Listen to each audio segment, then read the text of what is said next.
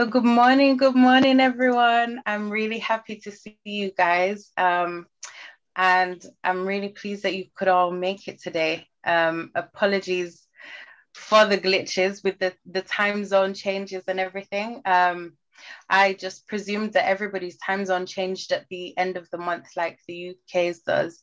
Um, so here we are. We're finally here.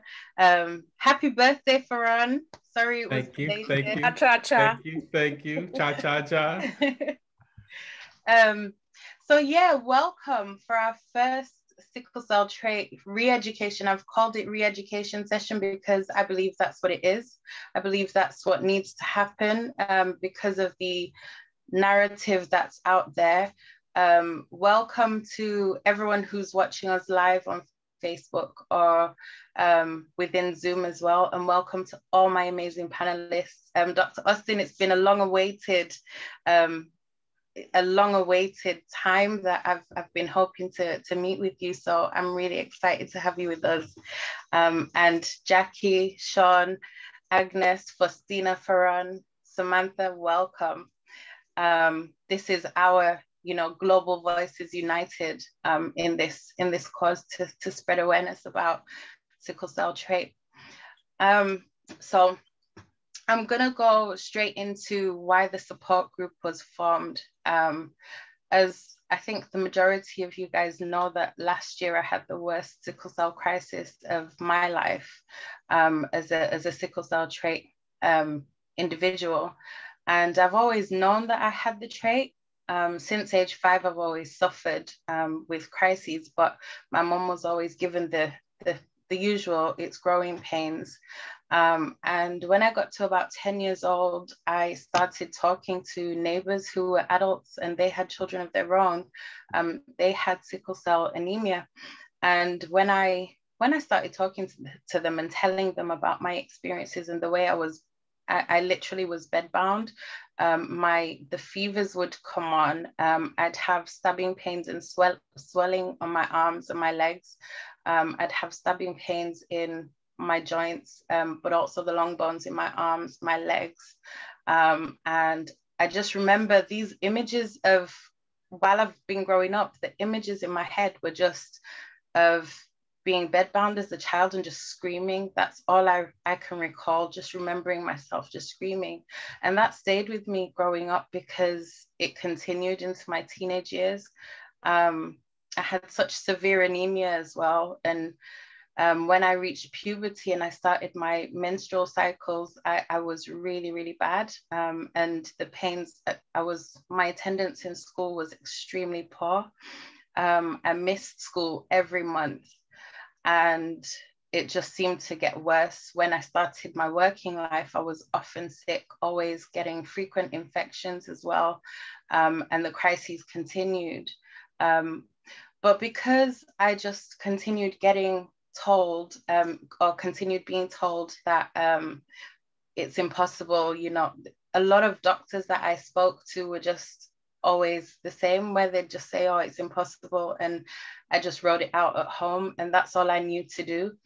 Um, it was i felt very very isolated and very alone growing up because i felt like i had no one to talk to and a lot of times if i had any events or anything that i needed to be part of or was invited say like if friends invited me anywhere um, i always just um, just to cancel last minute or just be exhausted. And I got tired of having to explain myself constantly to people as to why I always had to cancel or, you know, why I was like this. And I, I noticed growing up, it's it's been a lonely journey because a lot of people have just kind of just kind of let me know that actually, um, actually, you know, they, they've kind of just dropped off my friends list and not really told me why. And I, I know why um, it's always just been because of how my how my body was and and because I was canceling things all the time.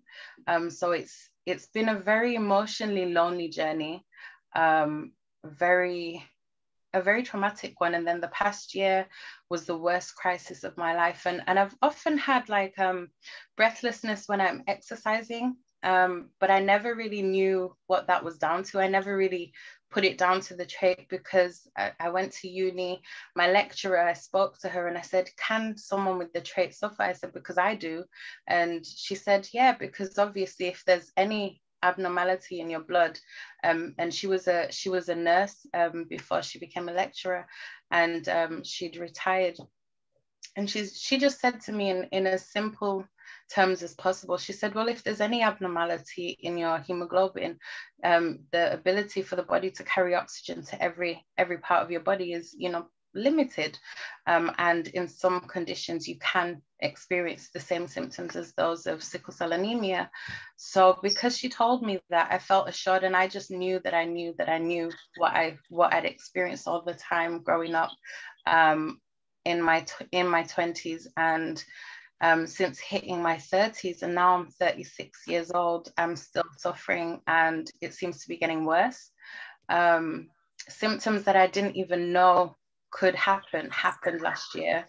Um, and symptoms that i um, symptoms that i wasn't aware of new symptoms that i'd never experienced until i started researching um, I I'd never experienced them before, and I I realized that this was all in relation to my crises um, and things that I'd experienced on their own as standalone type symptoms, um, such as stiff neck.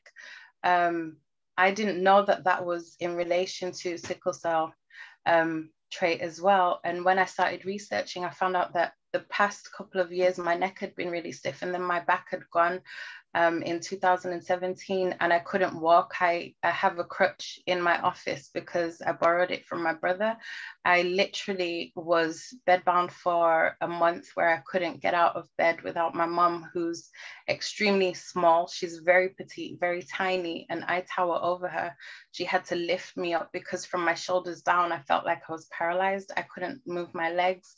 Um, my back was just really bad. It was it was just my back, and I didn't realize um, when I'd gone to have physio, they actually told me um, that it wasn't it wasn't um, my any any of my spine. Um, they said it was musculoskeletal. Mus- I can't say the word musculoskeletal.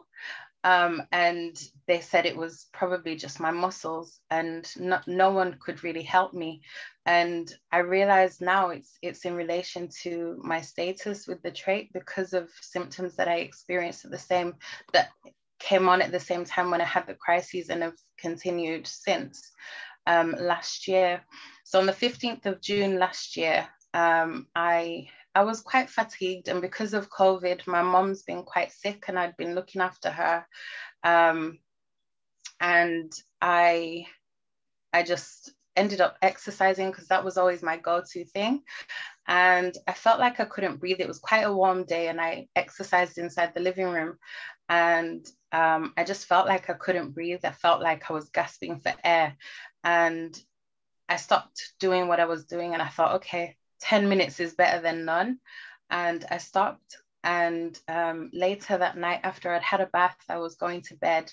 It was about 9 p.m. And I noticed that my arm, my right arm was swollen, my hand had swollen, and the pain that had started and and then i remembered this was always what used to happen as a child and i thought uh-oh and i had a bad feeling as well i just felt like something bad was going to happen mm-hmm. um, and by 2 a.m. in the morning, it just got really, really, really bad, um, where my whole arm had swollen and it was it was agony and then my ribs by the morning my ribs had swollen my stomach had swollen um, my legs the pain in my legs and my arms was really bad um, and throughout the whole of june july um, august i was just I, couldn't use my hands. I couldn't feed myself. I couldn't bathe myself.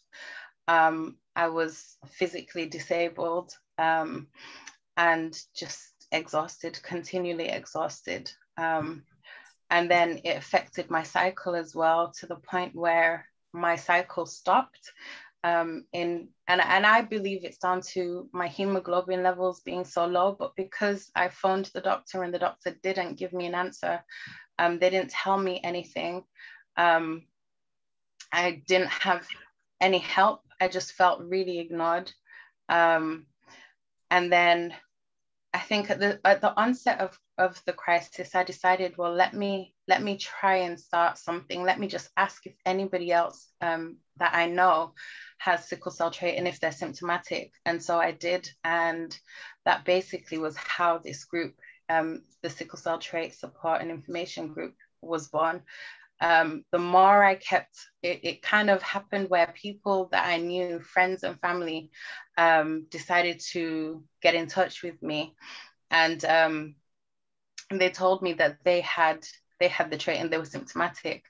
Um, so literally, it was that was how it was born, and and I decided that, you know, we need to start spreading awareness. If I'm going through this, my mind wasn't right at the time. I felt like at times I wanted to die, um, and I I said to my mom, I just wish I was dead. Um, and it's it's been a journey and then I ended up with the final straw was having a stroke um, at the end of the at the end of the year. I ended the year with a mini stroke, um, and I've still got complications to today. And now my passion is spreading awareness about sickle cell trait, um, connecting with people who have the trait, hearing their stories, and you know presenting this and and trying to change things medically as well. Because I think medics a lot of the time don't really know um, the risks. They're not really educated or even really spend much time in med school learning about it, according to um, my cousin who's a, a med, med student. Um, and he said they just do five minutes and that's that's where you guys all come in and how today came about.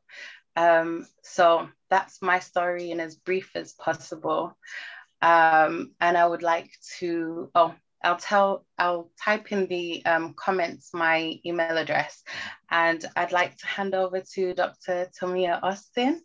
Um, she is Doctor of Public Health.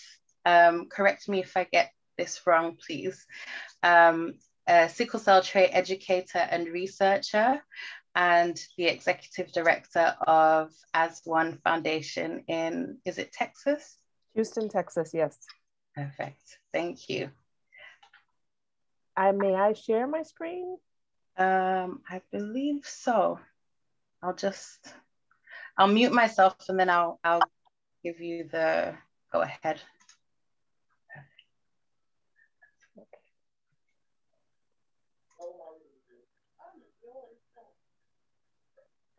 Oh, I didn't want to start on that slide. Okay.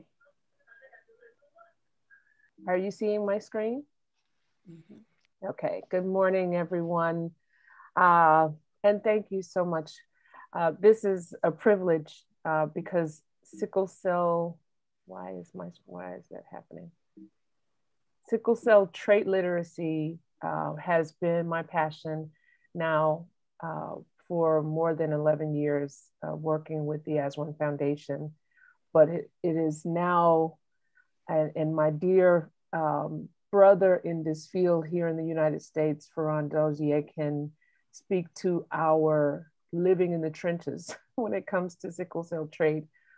But, um, you know, COVID 19 has happened and our, our reach has expanded. Uh, so here we are, sickle cell trait re-education. I love that uh, title, by the way. Uh, at the As One Foundation, um, our mission is to empower families globally and with an audience in the UK and Lagos and Saudi Arabia and Australia, I, I do believe we are working within our mission. Uh, empowering families globally, delivering life saving sickle cell education. This organization was founded by DeVard Darling. At the time, he was a, a, a, a current NFL player but his story begins bo- being born in Nassau, Bahamas, uh, as an identical twin.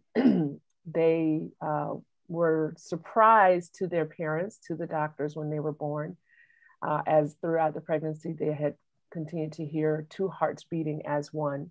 And that is where the name of this organization uh, comes from. DeVard and Devaughn, uh, along with their siblings and mother, after their parent, parents divorced, moved to Houston area.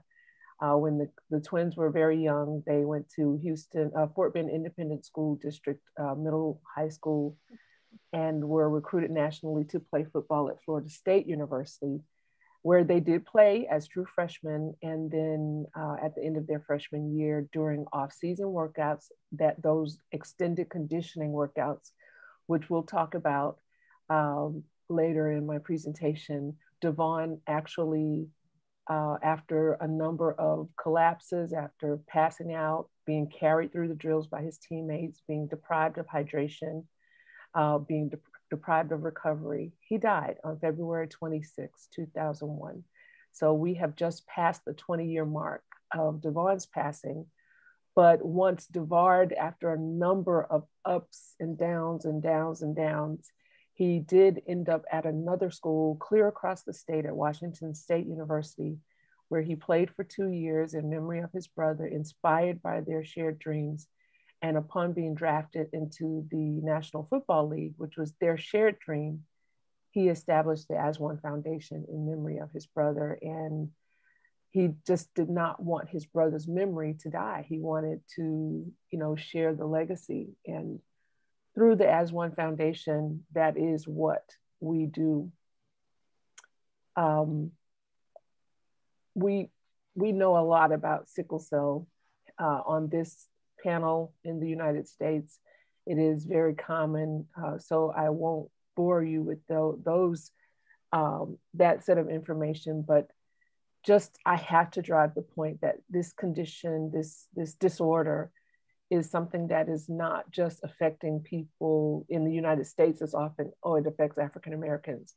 Uh, in this global instance, it is not just something that affects people of African descent. This is something that affects people of many uh, uh, ethnicities, including Asian, Indian, Italian, Latin, Greek, Irish, Turkish descent. And that's important. We, we drive that point home by saying that this is a not a skin color thing, it's a bloodline thing. So everyone is, uh, is due to know what sickle cell is. Um, this is something that we refer to as universal precautions. Educate everybody because it's likely to, you know, by some distance and a lot closer for others, affect uh, someone you know, if not you. But you know, and this this comes from certain myths uh, that are shared mainly that sickle cell trait is benign. It only affects African Americans. It's nothing to worry about. And then the the myth of stigma is is has various um, levels to it because you know the stigma can be internalized as oh I can't or I uh, or there's nothing to worry about or it can be an inferred uh, stigma by employers oh well you can't do this and we we have historical context for flight attendants and astronauts and so on uh, but uh, we're here to dispel some of the myths today.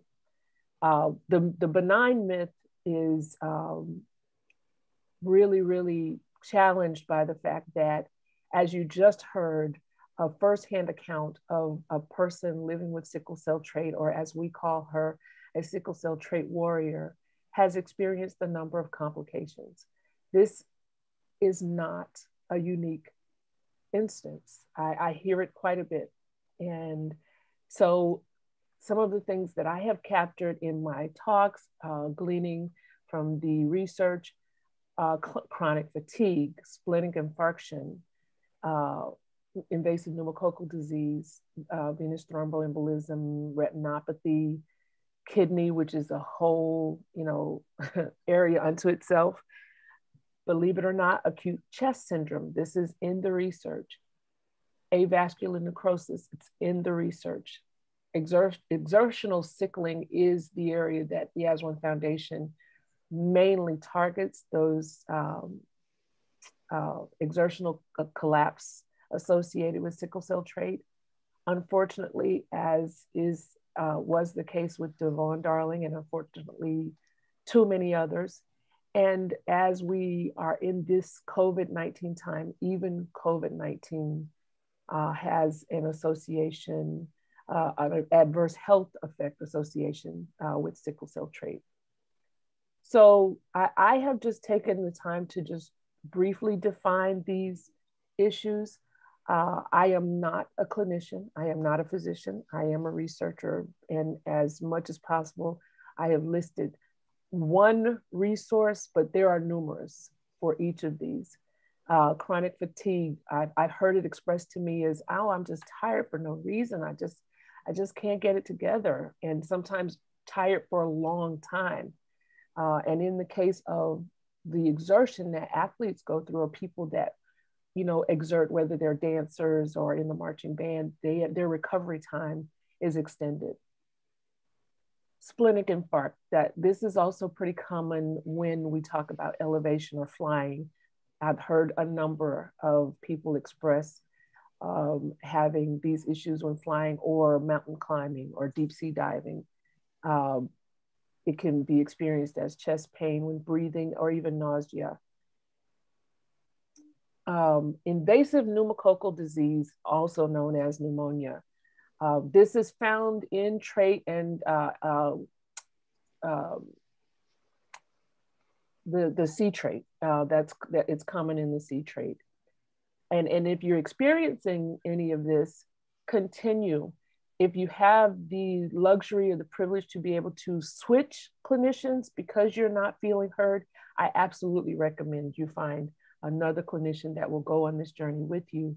Because, as was spoken before, our uh, providers here in the United States have certainly uh, confirmed that they get five minutes, the, the, the total of five minutes in a typical medical school curriculum.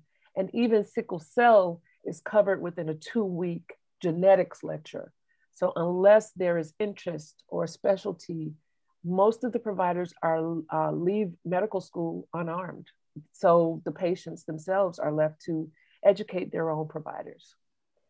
Uh, venous thromboembolism, blood clots. Uh, we, you know, this is typical, uh, but this is this has shown up in sickle cell trait, and we're going to hear more about that from other presenters. Uh, I'm pretty sure. Uh, retinopathy, anywhere you have blood, anywhere you have blood vessels, that you know you can have uh, issues, and this is not um, also uncommon with the trait warrior. So annual uh, eye examina- examinations are recommended. The kidney connection is vast. Um, the the the big one is the rare but fatal, often fatal renal medullary carcinoma. And there's been some really good uh, recent research that is now connecting or associating exertion with the RMC. Uh, so there's lots out there about it, but from the bedwetting to the blood in the urine, uh, and often when it comes to RMC, if, if the blood in the urine is already there, it's often too late. Um, but um, you know, flank pain. It's just it's just a lot there. So that's why hydration, hydration, hydration, hydration is so important for all of us, sickle cell, sickle cell trait or not, but especially uh, for sickle cell and sickle cell trait. You cannot, well, let me not say you cannot overhydrate, but it is of just vast importance to hydrate to keep good blood flow, to keep good flush, uh, and of course, the beauty regimen of good skin and good hair and all of that. But um, this is in, in good, very, very good practice for good kidney health. Acute chest syndrome, again, this is in the research. And, uh, you know, patients are not, are reporting not being listened to, but uh, the research that, and, and I'm going to jump ahead a little bit to uh, with with as it relates to the COVID-19 because this association, you know, with the respiratory issues that are associated with COVID 19 is why this is important.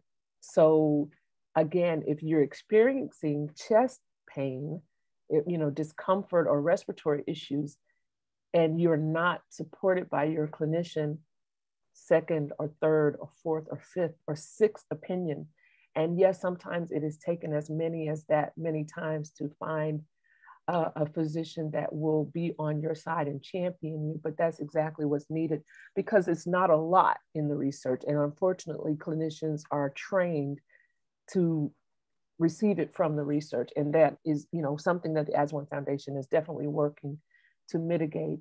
But in the meantime, we listen to the people, and this is what the people have told us.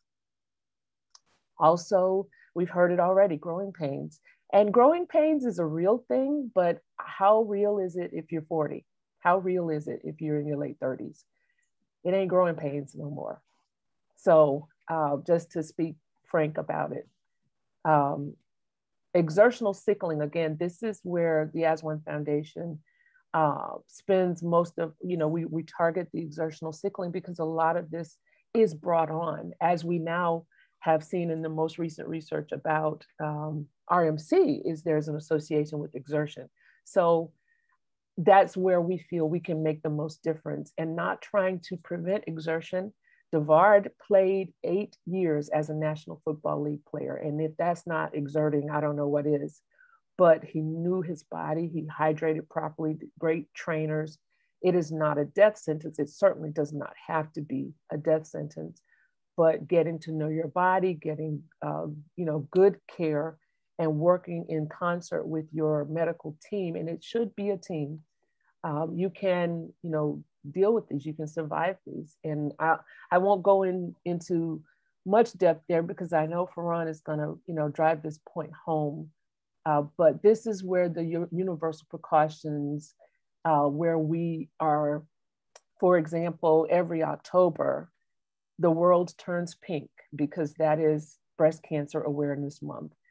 Everyone is not going to get breast cancer, you know, and even though it is something that can affect males, but um, pink fire trucks, pink footballs, pink cleats, pink, pink gloves, I mean, pink everything. They, you, everyone is, univ- is, is being universally educated about breast cancer so that the the ones who need it can be caught. And I believe with everything in me that this is the same approach needed for sickle cell, sickle cell trait, especially. Right now, our surveillance is telling us three to four million in the United States. I believe it's way more than that because we're dealing with older numbers. And if I am quoting good numbers, I believe breast cancer affects about 160,000 people annually, and sickle cell trait in the U- United States and sickle cell trait affects about 4 million. Hmm, that's a, you know, universal education. It's a lot of people affected and a lot of people that don't know. So um, if you're a dancer, if you're working out, if you are a football player or a basketball player, or decide just to take on your bucket list and run a marathon, and you have sickle cell trait or you don't know you have sickle cell trait, this is why this is important. Uh, I just can't state it any clearly. And of course, the uh, potential uh, associations with the adverse health effects associated with COVID 19 is not to be taken lightly for sickle cell trait warriors as well. So, as I said, the exertional sickling is where we focus because obviously Devaughn Darling and a number of athletes, unfortunately, before and after him, uh, but there's some things that look like cramps that are not cramps. That that is a, a trait crisis, uh, as is described. And the research is also showing us that sickle cell trait is the top non-injury killer of athletes here in the United States. Again, reason to take this very seriously. Uh, usually this is presenting, th these deaths, these collapse are occurring when there is extended conditioning, Me, you know, meaning, you know, not, not, not um, a, a little bit of working and then stop for a break. So if you know the game of American football, we have first down, second down, third down, fourth down. In between those downs, the play stops and if there's a timeout, you know, the trainer runs on the field and, you know, gives out water. Uh, but in a conditioning workout, which is usually not actually during the season, is, you know, before season, it's, it's usually a measurement test to see what type of shape you're in or, a, you know, approving for a, a, a, position or, you know, order to save your position on a team. Those conditioning workouts is is often the danger zone. Is that perfect storm because either there's been no activity And now you got to come in and show who you are, go hard, get through that wall. And there is no gradual increase from rest to intensity. You know, hydration can be a little iffy. And certainly the recovery time is is not there as much as it should be because you're, you know, you got to go to the next drill. You got to go to the next drill. And these drills are extended like 30, 44, 45 minutes at a time. And um, and, and what it looks like is the athlete is usually going all the way down. It's usually not taking a knee. Go all the way down. Um, and we have exercises here in the United States that kind of give you a hint. Suicides, that's the name of an exercise. A gasser, where you're so gassed that you're, you're not catching your breath. Those are the names of the exercises. And those are indicators of the danger zone for our trait warriors. Uh, can they be survived? Yes, obviously DeVard did, um, but he lost his brother, and too many other young athletes have. So again, these long uh, muscle, long bone pains, um, usually lower back. Again, we're talking about the kidneys there, um, and unfortunately, death has been the result. And it just doesn't have to be. This is preventable. So, in response to that, uh, uh, DeVard, uh, Devaughn passed away in 2001. Um, and then um, I believe it's Dale Lloyd, who actually died uh, right here at Rice University in 2006. There were incidences between and unfortunately since, but Dale Lloyd's death actually brought about the NCAA extend, expanding their mandate for all three divisions. And initially, it was just the top division one, but uh, Rice was not a, divi- a division one school, so their their mandate was not there, and so the, they the family, of course, sued the school for the negligence and death of their son, but also wanted uh, his death to be meaningful. So they worked with and insisted that NCAA do something to make sure that this con- did not continue to happen so that their son's death resulted in the mandate to test athletes at, at all three divisions. And it, it is helping, it is raising awareness, but we are yet not there yet because athletes continue to suffer and die. Uh, but education is the key, and that is, you know, a part of the As One Foundation goal. And I'm certainly uh, pleased to present here because this is a part of that. This is a part of that. Um, so the, the research is showing us that there are three risk factor areas. Dehydration, number one. Elevation, that, that's when we you know, start getting into that splenic infarct uh, area and that elevation, uh, you know, a swift change. So that's high or low, mountain climbing, deep sea diving, Denver, Colorado. Anybody heard the Ryan uh, Clark story, the NFL player who ended up losing his spleen and a number of, of other organs after playing for the Pittsburgh Steelers at the Denver Broncos. Uh, thankfully, he lived and continues to talk about his sickle cell trait story as a professional athlete, but that is exactly where that's from, that elevation. And then finally, as I said, the exertion, the rhabdo, which Farron will talk about extensively, is the third risk factor that has been identified. Uh, renal medullary carcinoma um, is listed here because it's, it's that attention grabber. Yes, it's a rare cancer that's associated primarily with sickle cell trait warriors. And now we have research that's showing that there's a, a an association to the exertion uh, in trait warriors to that rhabdo, I mean, I'm sorry, to that RMC and the, the, the key thing here is this, this RMC is often mostly diagnosed at stage four when there is no time to, not a lot of time left to uh, change things, to reverse it, to, to address it. And I, I would love to see us be able to find a way to diagnose early.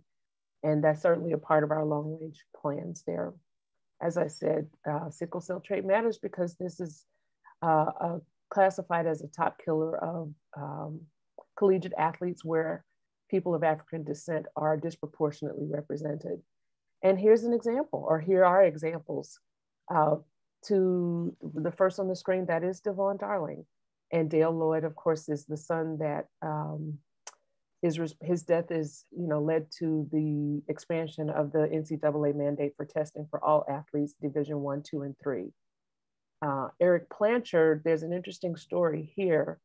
Um, uh, Ereck Plancher, the the the training, the what is it, the uh, conditioning trainer. I know I'm not saying it right. Um, actually, that was responsible for overworking the athletes at University of Central Florida in 2008 when Ereck Plancher passed away. If you skip over Shanice, was also the uh, the coach, the strength and conditioning coach that was responsible for overworking the athletes in 2015 when Ted Agu died. I just think that that is just pretty amazing that this gentleman even had a job and not only continued to work, but is responsible for the death of another athlete in this same way. Did he learn anything? So that's just my personal soapbox moment there because these are beautiful women and men who were sons, who were loved.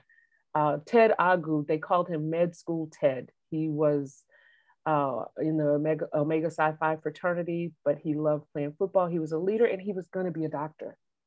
And Ted is not with us any longer. And then let's go back to Shanice Clark, female basketball. So, you know, we can't get pigeonholed into just football and just males. She played basketball, and originally they said that her death was attributed to her choking on bubble gum that she had chewed. Hmm. I'm giving you all the side eye this morning. uh, and it's not a laughing matter, but it's just the extremes that, you know, people will go through to go to to not be responsible. And the responsible thing, the most responsible thing is to educate, educate yourself, educate your staff, educate the athletes themselves. And I, I have personal firsthand experience with the athletes because that's where I conducted my research. And you talk to those athletes, they surprise you. They did surprise me. They want to know. They want their teammates to know. They don't care about stigma. If you're on that court, you you've obviously earned your place on that court. Who's talking to them? I mean, I'll, I'll just I'll just end that there. And then Eric Gall is an interesting example. Number one, because he he started as an athlete at my alma mater at Florida A&M University in Tallahassee, Florida, but he transferred. And on his first day of training, and remember I was talking about when these uh, ECAST events usually happen is usually on the first day of conditioning workouts within the first hour.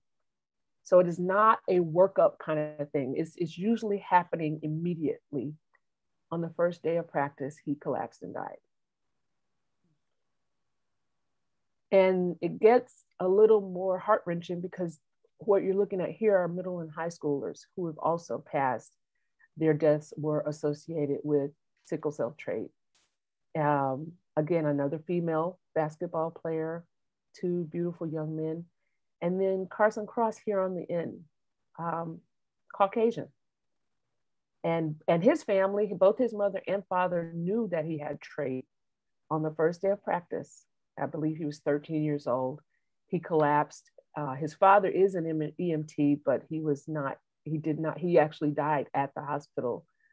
Um, and he was their his mother and father's only child and he is loved and uh, and again preventable if if if if certain things would be in place or what if were, were in place for these death not deaths not to happen.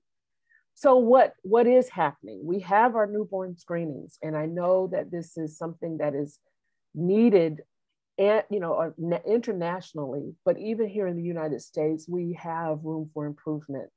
Because essentially what's happening is without consistency meaning that it's done differently state to state uh, in the event number one the search is, is indirectly for sickle cell trait the search is for they're screening for sickle cell so when sickle cell trait is diagnosed there is a letter that's sent if a letter is sent Um, and that letter basically is a notification letter with a couple of bullets saying that it's not disease, you'll your child will live a normal life.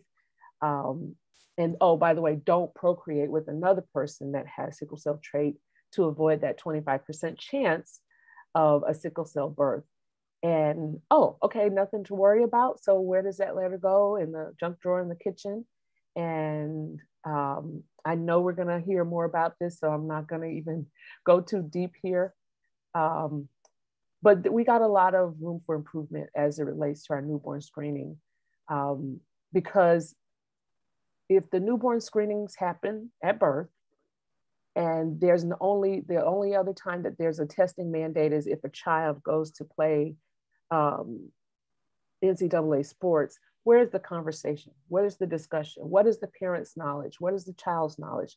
And I'm sure we all agree that sickle cell trait needs to be discussed in, in the household. That I believe it's it is just as important as the transition education that happens for sickle cell anemia children that have to transition from peds to adult medicine. This is transition education for trait warrior children. Um, especially because we have deaths that are still still occurring, unexplained pain, unexplained fatigue, and so on.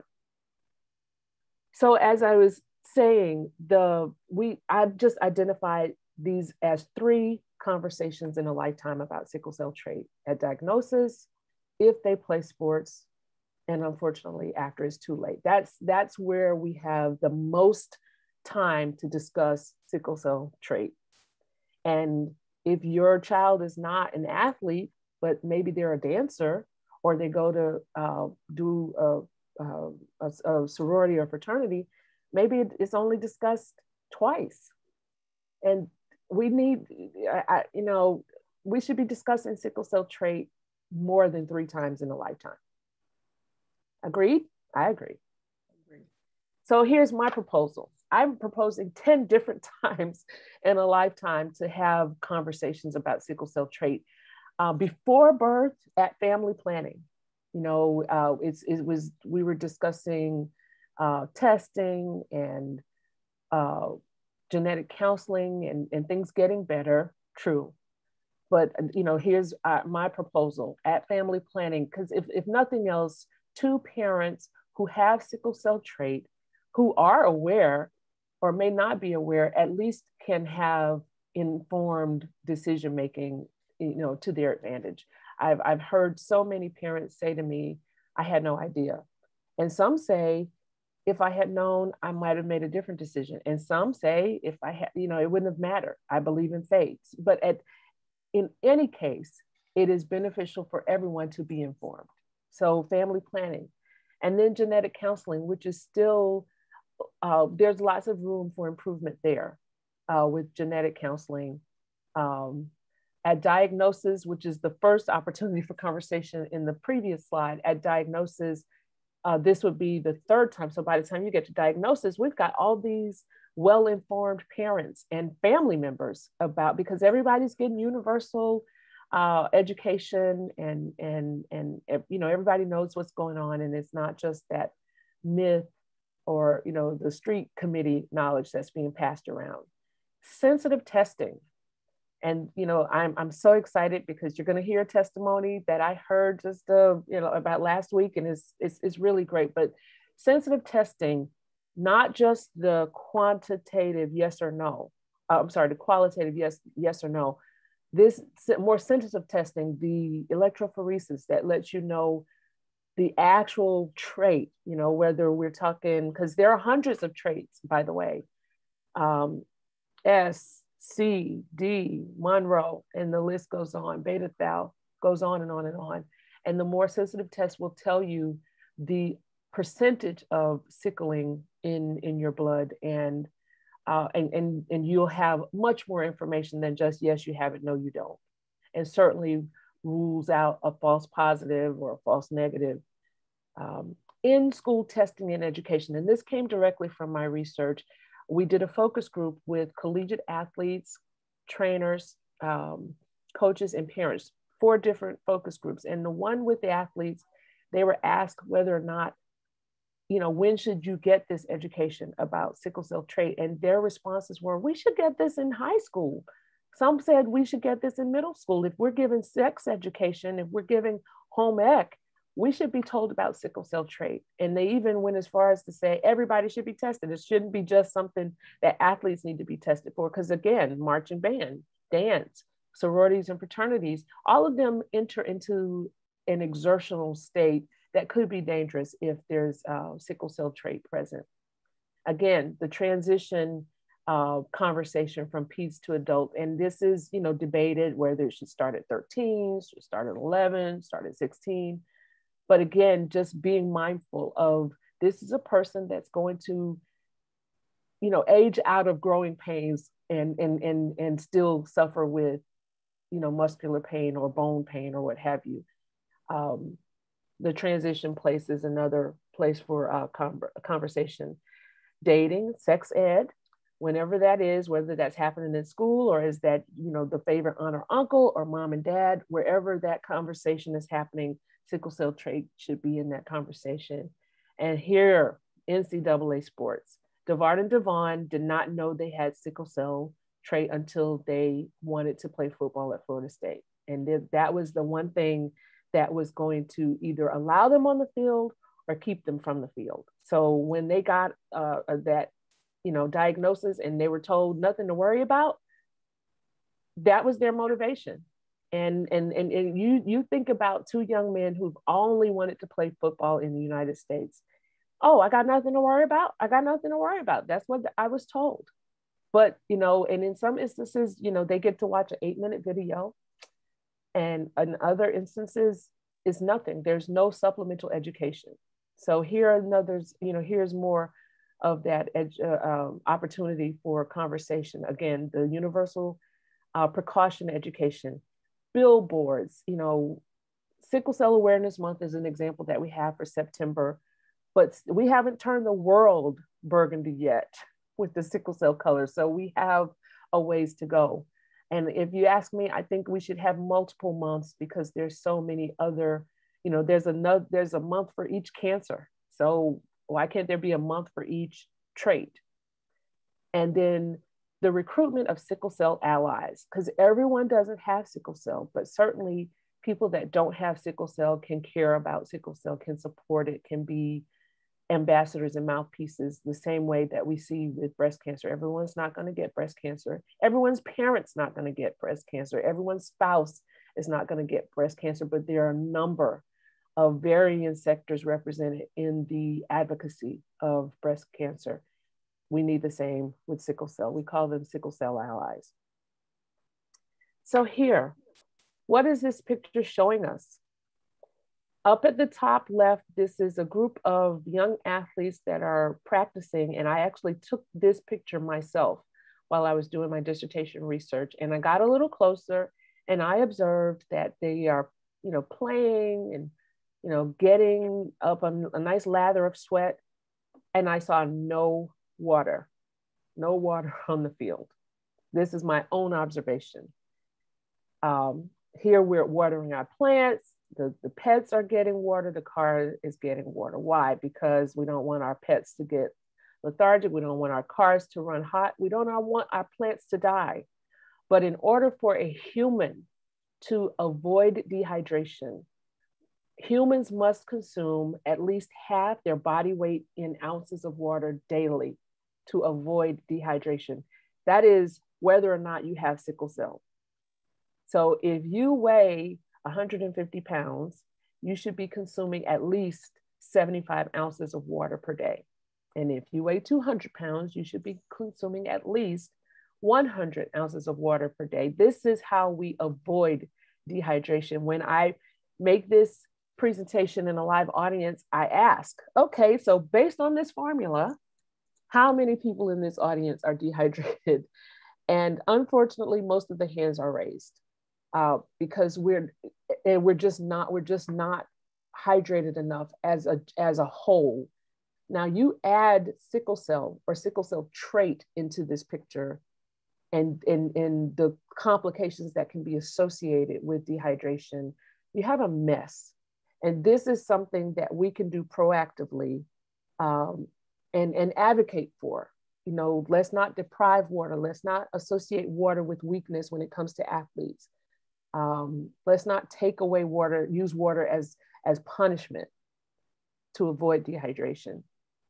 And to address the risk factors of uh, dehydration, elevation, and uh, exertion, there are protective factors uh, where we're talking about those conditioning workouts.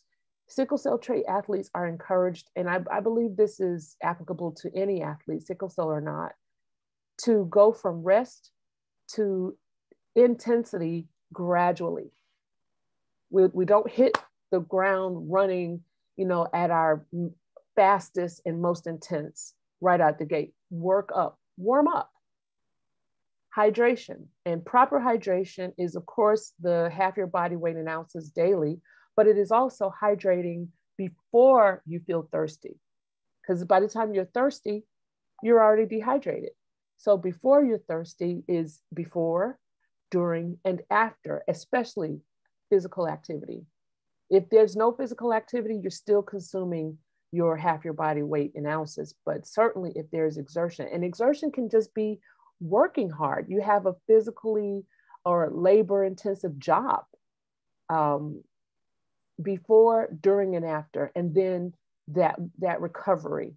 And in athletics, you know, it, it looks like putting your arms above your head or taking a knee or walking around with your hands on your hips, but it, it, it needs to be predicted and proactive recovery um, to, to be able to get your breath back and regulate your heart rate and then go back to intensity, but still going back gradually.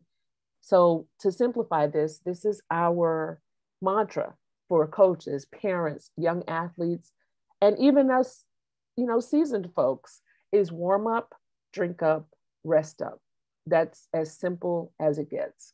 Warm up, go from rest to intensity gradually, drink up, hydrate before, during, and after, and rest up. Allow multiple allow yourself multiple recovery breaks, whatever it takes to regulate your heartbeat, heartbeat, and um, and then you can return back to physical uh, intensity or your workout is done. Warm up, drink up, rest up. These are just some of the, the resources that I've quoted today. Uh, with these, uh, with this sickle cell trait literacy, that's extremely important to me. Uh, I've outlined some of the barriers that we've talked about. Of course, there is that medical training that is the, the equivalent of five minutes um, that causes the patient themselves to end up having to educate their providers of certain, you know, the stigma associations. And then there, you know, in the sickle cell home, there's sickle siblings. Uh, and unfortunately, there may be sickle, uh, I'm sorry, guilt or a minimization of trait symptoms when there's a sibling with sickle cell. I hear this a lot. Um, and again, I'm not a clinician, but when we think about a, a, crisis, that is not just a pain that just occurred from a tap and then it goes away. And sickle cell pain is from is resulting from damage, from bone damage. You know, the you know a stretching or a, a, a, deformation of your blood vessels. That damage is compiled upon each time. So it does get worse. And so if you are a sibling and you're minimizing, or if you're a caregiver and you're minimizing, you're only setting yourself up for future issues. And then finally, the rare designation, which is a long, long debate. Uh, because how rare is sickle cell trait? It's not. So, uh, but does but the rare designation in some instances gets it more funding, and and and in other instances it is not. Um, the deaths associated are not rare enough. Uh, I mean, are, are too rare. So. I, I heard one MD say parents of a lost child don't care about statistics and you know I, and i agree but here are opportunities again for those conversations that i listed you know to offer testing earlier more sensitive testing get better on our surveillance do we really know the numbers of people that are walking around and do We know, but do they know? Uh, research, which requires funding, and then possibly there may be therapies, there may be pharmaceuticals out there that can address things like the oxidative, oxidative stress that the trait warrior athlete is going through or per, a person that exerts. And of course, those fund those, those pharma, uh, the more those pharmas are developed, that also creates funding, much needed funding in the sickle cell trait space. And this is just uh, the name of my dissertation, the topic that I studied uh, that gave us a good insight into how the, ath- the young athlete feels about sickle cell trait and, and, and, and their knowledge level about exertional sickling. Again, just pointing back to is that diagnosis enough? Is that newborn screening alert letter enough? Uh, it's a resounding no, it's not. So the bottom line is from that research, we learned that education is desired, is needed, and is not widely, uh, you know, widely available. They want to know, they want their teammates to know, and they want everybody else to know. They want the uh, ally to be involved to help push this message forward. And this is another reason why, because everyone, whether you have sickle cell or not, you can still be identified uh, with the hemoglobin genotype. Um, there is a number here listed on the bottom of this slide, but AA is the genotype for all of us who don't have sickle cell or sickle cell trait. So everyone is represented in this conversation. Even if you don't have sickle cell trait or disease, you have a hemoglobin genotype, which is AA. And uh, we, you know, the As One Foundation, we are starting, I've, I've seen them elsewhere as well, but we're starting to share through our uh, gear, genotype gear. I'm an AA warrior. I don't have sickle cell, but I'm an ally. And this is just a resource that a resource that we provide for uh, parents to print out and take to the uh, coaches um, to help them advocate for their children in the you know in the event that they have a trait athlete and they just want them protected and have an extra set of tools uh, to inform the the coaches and training staff about their young athlete. And that's how you can keep in touch with the as one foundation on all social media and website uh, with that, I'll say thank you. And I understand we'll have questions at the end. Yeah, that's right. Thank you so much, Dr. Austin. That was really informative. Um, and our next panelist um, is Farron um, Dozier. Is that how I pronounce your surname? Yes. Um, he is an advocate and founder of um, What's the Count, or WDC on SCT, or on sickle cell trait. Um, and happy birthday again. Thank you. Loves yours. I do have a slide, a uh, couple slides. I know I got a few minutes, so is there? Can I share the screen? Okay.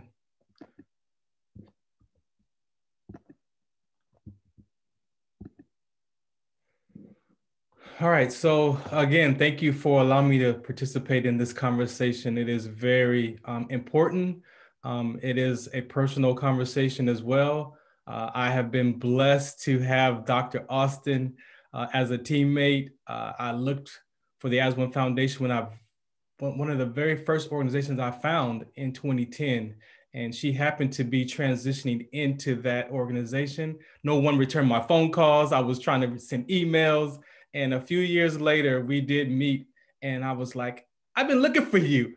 And so, with her research, um, it has proven uh, to my conversation and my experiences of uh, how important uh, sickle cell trait awareness is. Uh, for me, um, I'm going to give you my story. I'm going to go from A to Z and I'm going to touch on some key points. But before I start, I wanted to share with you for me, language is important on how we go forth in this conversation. And this is written from the medical books uh, it says the risk factors for sickle cell trait. And it says right there, you can read it. Most people with sickle cell trait do not have any symptoms of sickle cell disease. Although, and for me, when I saw that, that means that they knew or they've known that there has been some type of complications with sickle cell trait because right after that, it says in rare cases, people with sickle cell trait might experience complications of sickle cell disease, such as. That line right there just makes no sense to me. So, as you can see, pain crisis in their extreme form, and as Dr. Austin has given you um, information and research uh, about that. Another thing that I wanted to share um, as a sickle cell trait advocate, we talk about, as Dr. Austin mentioned, sickle cell trait, hemoglobin C trait, thalassemia trait. All those are very important. The test that you want to ask for is the hemoglobin electrophoresis, and they can tell you what percentage of sickle cell trait that you have. Also, uh, with the test, they can also tell you um, what other inherited genes you have, like sickle cell trait, uh, thalassemia, um, C trait, D trait as well. Um, and then I'm gonna hit some of these facts right here, but I'll tell you now, um, you gotta know what your status is. Again, you see the list of the different types of genotypes, uh, the cardiac arrest uh, that can happen to with the sudden death, um, acute illness, uh, colds and flus. Sometimes people say, go to the gym and sweat out a cold. Ah, that's not always a good idea. Uh, lack of sleep, fatigue, those are one of the main symptoms that as I've been advocating people with sickle cell trait, they say, oh, I don't have pain, but are you tired? Oh yeah, I'm always tired. Yeah, well, you know what? That might be something you want to start to look at. And so hydration, food, um, with rhabdo, uh, there are certain medications, uh, cholesterol medication can create uh, symptoms or trigger rhabdo. So it's not just sickle cell trait carriers who can experience rhabdo, but anybody exercising, but also uh, with other inherited genes as well, but also some medications can trigger rhabdo. So I'm going to tell you just my quick story uh, from A to Z. Uh, in 1975, I was five years old. Um, my arm would ache, left arm ache like crazy. My grandmother would hold me over the sink and run warm water over my arm, and that was the only thing that would soothe it. Uh, they took me to the hospital, told my parents, he's five, it's growing pains, don't worry about it. Uh, joined the military at age 19, did my physical, uh, nothing was told to me. Uh, went about my career, was having some symptoms. Uh, that arm pain never went away uh, talked to my mom. She said that she remember I was like two years old with that arm pain and I would be crying as a young child. So I remember five, but my mom would tell you I was two. Um, transferred to Michigan. I did my second physical in 1999 at the LA Air Force Base. And the doctor called me in a panic, like, you need to come back to the clinic. And so I'm like, uh oh, like, did y'all find some STD or something? like, what is going on? So I, I run, I go back to the hospital and, and to the clinic, and he's like, Do you know you have sickle cell trait? I'm like, No. He says, Okay, well, we just want to let you know that you're a trait carrier. Um, gave me no pamphlet, no information. I remembered, hey, I have a cousin with sickle cell disease. Is, is that the disease? No, no, no. You're just a carrier. You have nothing to worry about. Um, make sure you don't make with another person I'm like, well, I already have my my daughters, so I'm done um, having children. What? Now that was 99. In 98, my youngest daughter, Deja, was born. I got a letter in the mail from the hospital. Looked at that letter, huh, okay, and put it away. Now, I found out the next year that I was a trait carrier. So again, we never put two and two together. Um, even with my cousin, um, adding three and three together, just never had those conversations uh, transferred to Michigan. My daughter was about two years old in Michigan, and she was crying, "My hands, my hands, my feet." Oh, growing pains. I said uh, she's two. She's growing pains. You know that was the conversation. So, again, I've had my my my arm issues. I've had a doctor shoot cortisone because he said it was tendonitis. Like I went through all these different pains with my arm, just never went away. I'm 51 and I'm still having this arm pain, if not worse. In 90, in uh, 2004 uh, to 0405, I was deployed uh, in states. We were training Iraqi soldiers and our soldiers to survive the roadside bombs. They were attacking the convoys during that time frame. So we brought in uh, units that were going to go overseas to train them uh, to survive that. So during that deployment, I was having a lot of health issues. Uh, I could barely walk. My hand was swollen. The doctor gave me Motrin uh, you know, gave me a profile because my feet hurt. And that's how I ended that deployment in, in, in, in a bad state. I did get promoted as well. And so I transferred to my next duty station in Sacramento, um, came back down to California in that short transfer and went off to my Master Sergeant Academy. So I was an E7 around my 17th year, uh, getting on the promotion list to make E8.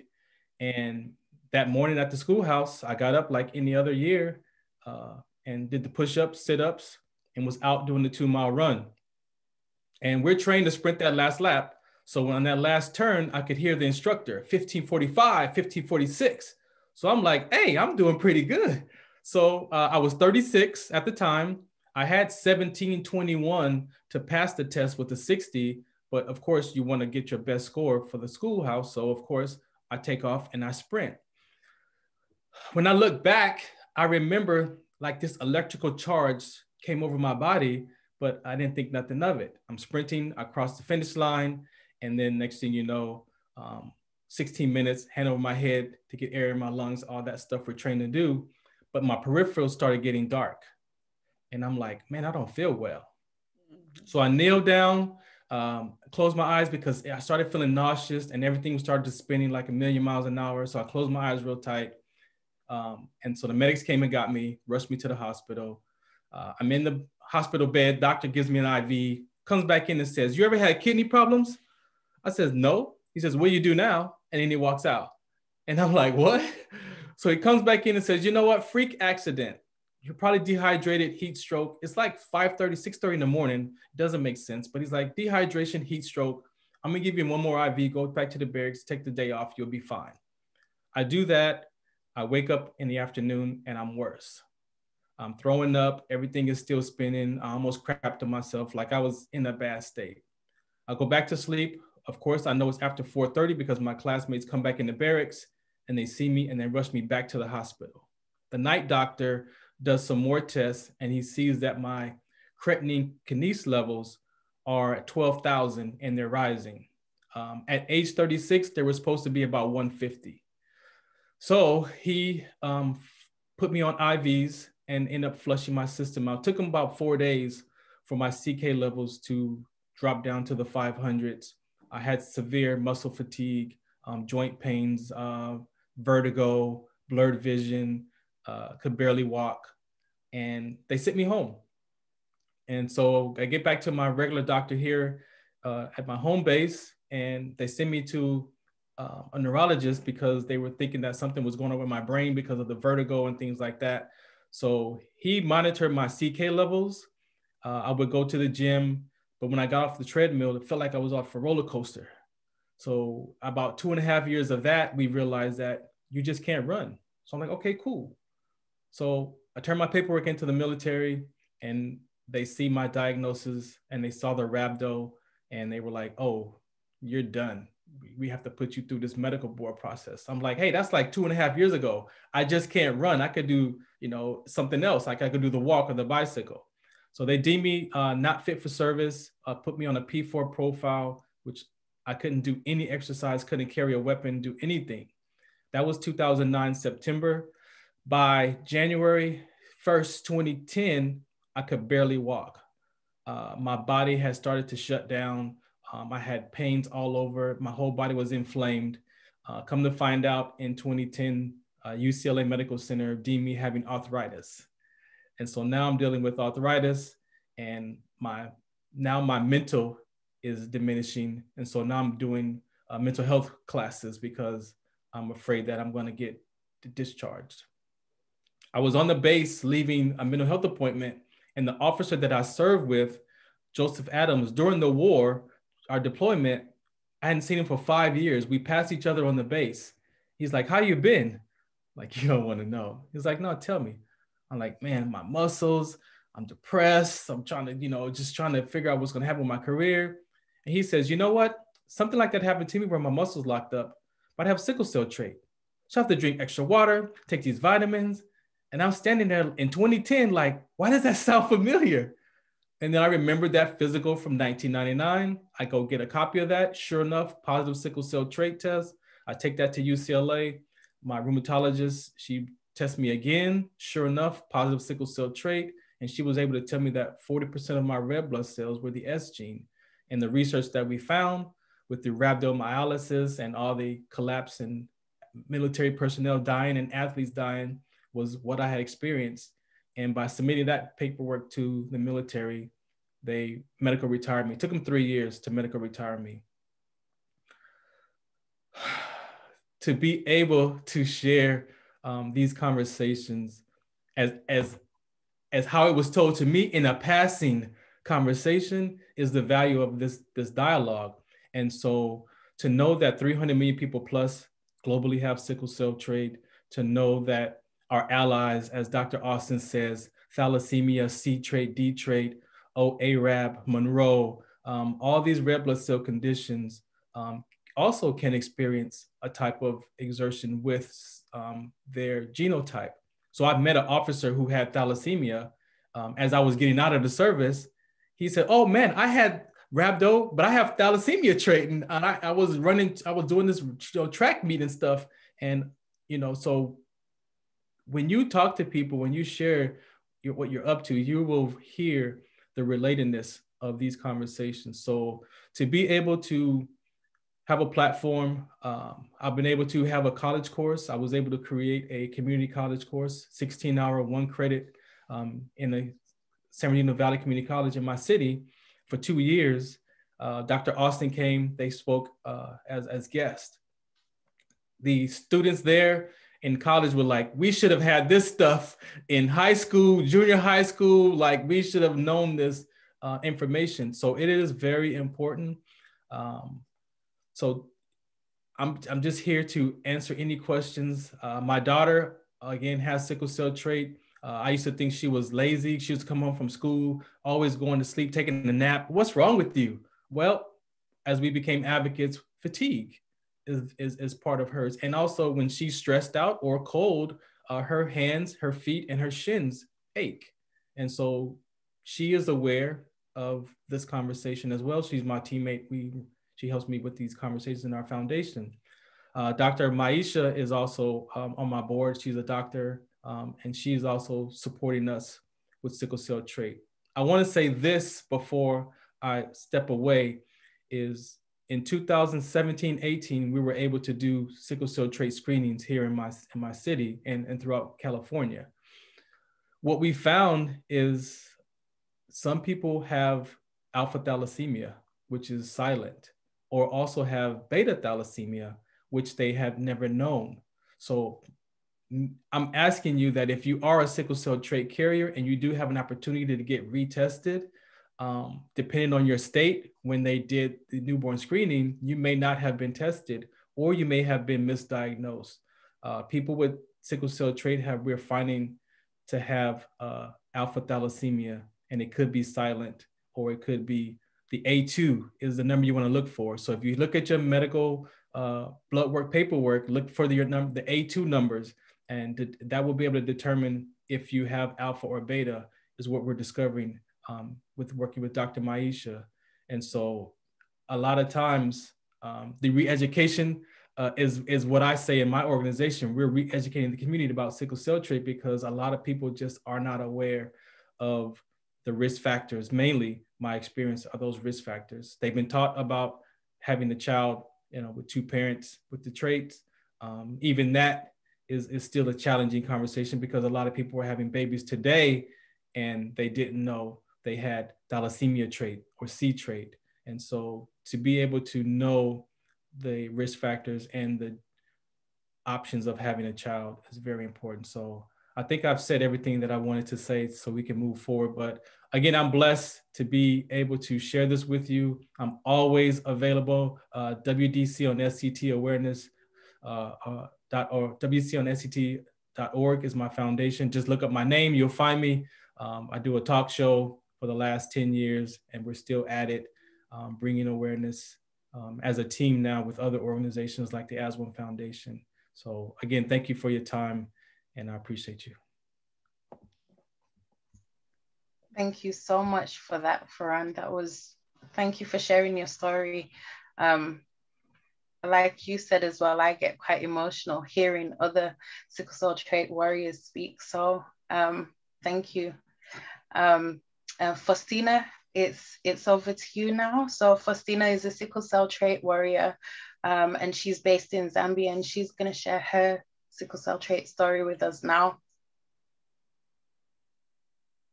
All right. Um, thank you so much. Um, can you hear me? All right. Yeah, as she said, I'm Phostina. And um,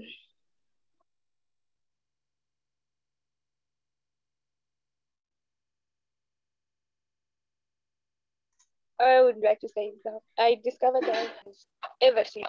Um, so when um, Mama told me to say when I was a child, I I had I, I was ever sickly.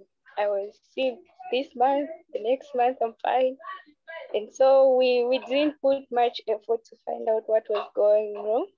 But um, I remember when I was about 12, I really got sick and I couldn't do anything. I depended on everyone around me. I couldn't do anything. I stopped school. And I was sick for about a year. And it's actually sad that they couldn't find what's wrong with me. I did almost every test, and um, there was nothing wrong, but I was sick. And um, nothing came to our mind to say, okay, let's test for sickle cell trait. And I think by that moment, I wasn't having any symptoms uh, um, regarding sickle cell. So it never came to our mind to say maybe it could be sickle cell or sickle cell trait. Um, from 2012, I was in bed of bed in hospital, out of hospital. And um, I remember in 2016, that's when I started having symptoms associated with um, sickle, cell, anemia. Um, sometimes I, I mostly had joint pain. In um, 2016, I, I had joint pains such that my knees were swelling each and every time. And um, I had, I think it was dehydration, but we, we never knew at that moment to say, okay, dehydration would cause a, a very big problem to me. And um, so we went to the hospital. Now we did some tests and um, sickle cell wasn't included to that time. Um, after we did some tests, they said, no, you, it's just a rare, it's just a common problem. It's um, yeast infection. You've got a lot of yeast in your stool. Now, I was given some treatments, and upon finishing the treatment, everything was gone. And that was fine. From 2016, I was I got sick, but it was you know, something common that each and everyone goes goes through.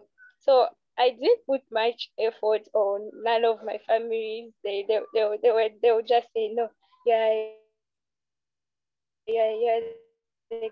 Girl who's always sick. I, I could get sick like every month. Every month I was in bed.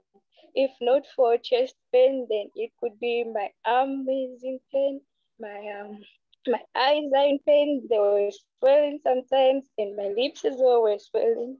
So we just took it to say no, it's normal. She's just she she just gets sick just like any other child. And um in 2020, I was actually living with Granny. I noticed my on my chest, my skin was somehow changing. It was actually turning brown. So I showed Granny to say, Granny, look, I don't know what this is. And um, I think it's um, it's spreading. Now by that time, I could feel a lump on my um, right side of the breast, and I was like, "Look, I think it's it's actually associated to this thing of I, I feel on my breast." And Granny was, "No, it can't be cancer." So we actually, I, I started getting worried, saying, "Now I know something is wrong." And um, in May, that's when the, the I was very sick. That's when it got very serious. That it impacted my daily life. I I had both um, chest pains. The the skin was freezing so much, and um, my bones were in pain. Each and every part where, where I've got a bone was in pain. Sometimes I could wake up to say, no, this finger is in pain, or my, my whole arm is in pain. It's got swelling. I went to clinics and um, they couldn't, uh, I remember I, I, I got some tablets, some injections, um, which included diclofenac, but nothing was happening. As I was hoping to say, they would like, no, for the bones, maybe you, it's calcium, you're lacking calcium or anything. So I took almost every vitamin. I had all the supplements I needed, but nothing was, was like getting it. So that's when I got referred to, to a general hospital. Now, upon reaching there, the first doctor I saw actually suggested to say, no, it's, I think it's sickle cell it's either you're a carrier of sickle cell or you've got sickle cell anemia. So I did my um, blood count test, which actually showed I've got some sickle cells in me. And then after that, I was taught to, for in order to be sure it's sickle cell trait, I was taught to do an HB electrophoresis test, which actually proved to say, yeah, it's sickle cell trait. Now the next I was referred to go see a hematologist, which I did, and it it it it never went that good. But yeah, I did see a hematologist because by then I had I had an X-ray of each and every part of my bone because they thought maybe it's an infrastructure or something like that. I had my breast cancer tested. Oh, I mean my breast. I had my breast tested for cancer which came out normal as well. So I saw this hematologist and he was like, no, these results are fine. You're just a carrier and there's nothing more. There's nothing left. It, it, it won't impact you and um, you've got nothing to worry about. And I was like looking at him to say, no, I'm in very much pain. And all he says is, you've got nothing to worry about. And believe me to say, he did not give me anything. Not, um, yeah, back then the, the, the doctor I saw prescribed some medications for me, which are painkillers. But with the hematologist I saw, it was nothing apart from you're fine. And the next appointment he gave me was, um, I, I remember it was November last year when I actually got to, see the hematologist. And um, the next appointment he gave me is in May this year. Just imagine the gap space. First, I'm not fine. He couldn't help me in it in any way. And the next appointment I'm having with him is in May. And um, since the hematologist, I wouldn't say I'm getting better or anything, and I think I'm actually getting worse because um, I've got chest pains, each and every day I've got something to say. This is not right in my body. This is wrong. And um, sometimes uh, I have difficulties in breathing. It actually happens at night most of the time. Um, there was this time actually, I remember I was I was very sick and around 01 p.m. I texted my brother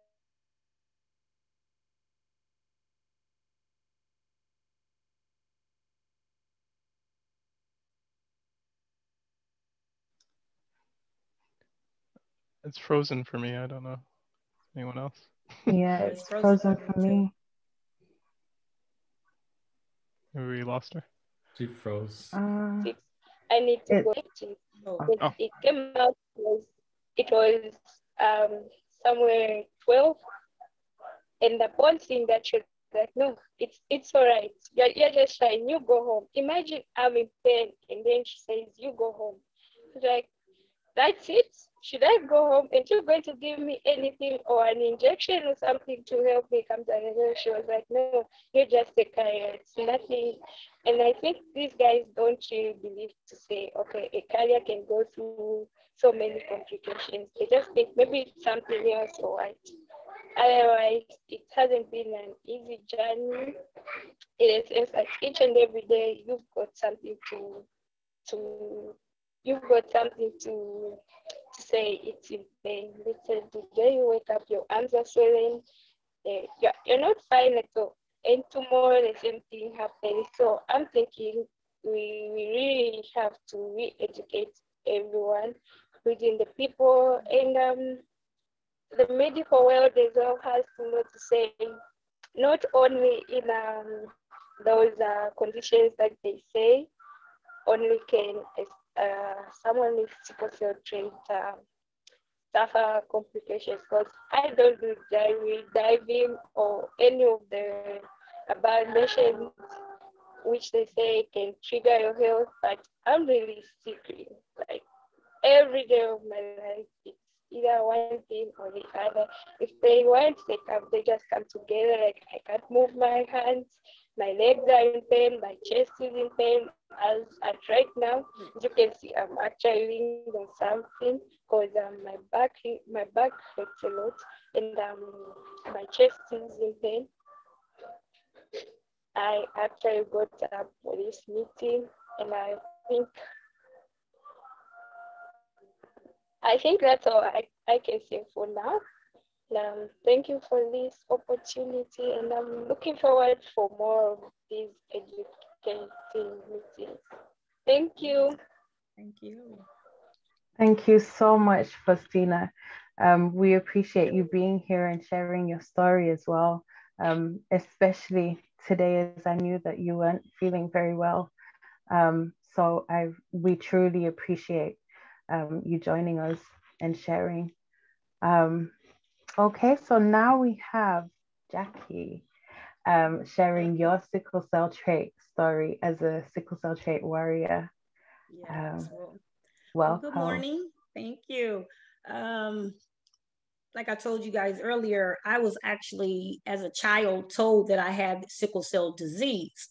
So I've always been careful because, you know, me and my sister both were told we had sickle cell disease. Um, but here in like 2010, I was told that no, when I moved to Albuquerque, New Mexico, because I was having trouble breathing because of the altitude change, that I, I only had the trait.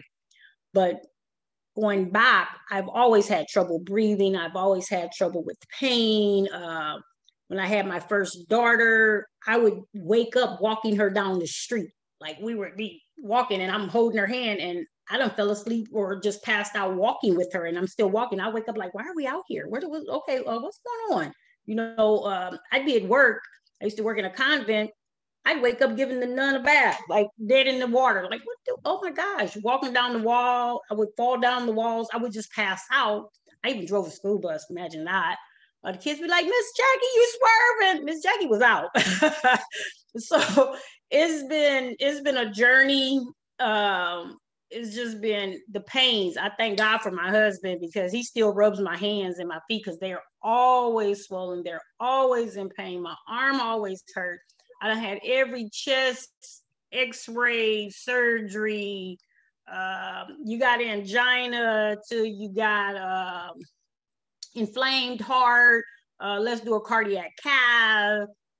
And on, on the cardiac cath table, I actually was passed out at work. I'm a nurse and I was I was teaching IVs to the students and the little girl gave me the pamphlet. This was in Albuquerque she gave me the uh, thing to sign her off on her IV. I couldn't see it. I blacked out. I mean, I felt myself going dark and I was like, just give me a moment. And I'm so glad I knew the area that I walked over to the desk, sat in a chair, and I touched somebody and said, hey, I'm passing out. And I told them that. They rushed me to the ER and they said, oh, it's your heart your heart is just zooming. It's just going so fast. We got to do emergency surgery. I'm like, oh, pump your brakes. Give me, give me a minute. We ain't just gonna cut Jackie open. Let's figure some things out. Hold on. I'm not the normal patient. You can't just cut me open. We, you, I have to tell you some background history here. Um, and they didn't want to hear it, of course. And so finally, you know, I agreed to have the cardiac cath because back up in 2007, they had told me that I had a fast heart rate. And I, I failed the stress test. I got on the little machine you tell you to run, and I got up there and said, "Hey, oh nope, get down." You went from like 70 to 214 in like two minutes, two seconds. I never even made it. I just got up there. You know, I used to be a runner, so I just got nope, get down. So I failed the stress test, and they wanted to give me medicine back in 2007. And I said, "Well, is my heart going fast, damaging my heart?" He was like, no, but you know, it's not a good thing. And I said, oh, well, I'll soon not take your medicine if it's not damaging my heart. So back to being in Albuquerque and passed out from it going so fast, the job was like, hey, we can't have you passing out at work. It's dangerous. So you either have the surgery to work or you're done. So I had to have the surgery. I'm on the table and I say to the people, hey, something's wrong.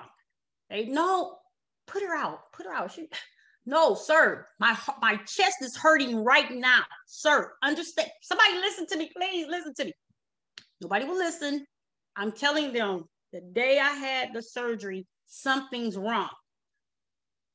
I wake up in the middle of the surgery. I heard him say, just put her out. Just give her some, put her out. I'm like, no, please, somebody listen. Nope, they didn't listen. Guess what? I woke up to anesthesia saying, Mrs. Griffin, I need you to settle down. We're gonna have to intubate you if you don't settle down. I said, Well, my chest is burning. He said, I know. I just brought you back. I died on their table. My chest, when he went in, it was so irritated that when he put his equipment in, it just clamped down on his equipment and would not let go. It wouldn't pump, it wouldn't do anything. He couldn't take it out, he couldn't put it in further. It just collapsed on his equipment. And he, when I woke up and they finally, they had, he said they gave me everything under the sun. They, they finally had to uh, contact uh, the British actually to figure out, okay, so we did this for her, we did that, and we haven't brought her back. What do we do? So they ended up doing whatever they, they had to do and brought me back. And um, I woke up to this man sitting in my bedside. Doctors don't do that. I woke up like my chest was burning. I'm like, uh, what the heck happened? He said, uh, I've, I've been doing this for years and I've never had anybody heart collapse onto my equipment. He said it was almost like your heart was angry. It just grabbed my equipment and it wouldn't let go. And I said, I tried to tell you in before y'all started that something was wrong. And he was like, I've been doing this for years. I've never seen this. So congratulations, you made the medical journals because nobody's ever done that. He said, we called all over to try to figure out how to fix it. And um, I said, okay, so what do we do now? He said, well, um, now you have pericarditis uh, I didn't walk in here with pericarditis. I, I got pericarditis.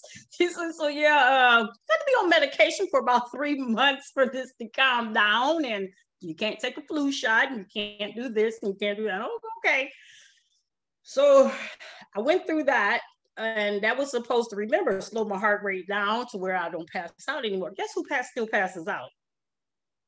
Yeah, didn't work wasn't the cause. so now we're still going through that. Um, I was at a nail shop. I, we, I moved from Albuquerque to Seattle and I was getting my nails done, you know, trying to come to go to town looking cute. And in the nail shop, I didn't feel right, but I didn't feel bad, you know. And so I, um, I was like, okay, hmm, this is strange. And so I paid the lady, and I walked out. I had rented an apartment across the street from the nail shop, because I had uh, downsized to an apartment to move. You know, you get rid of all your stuff, so it's easier to move. I, I couldn't make it home.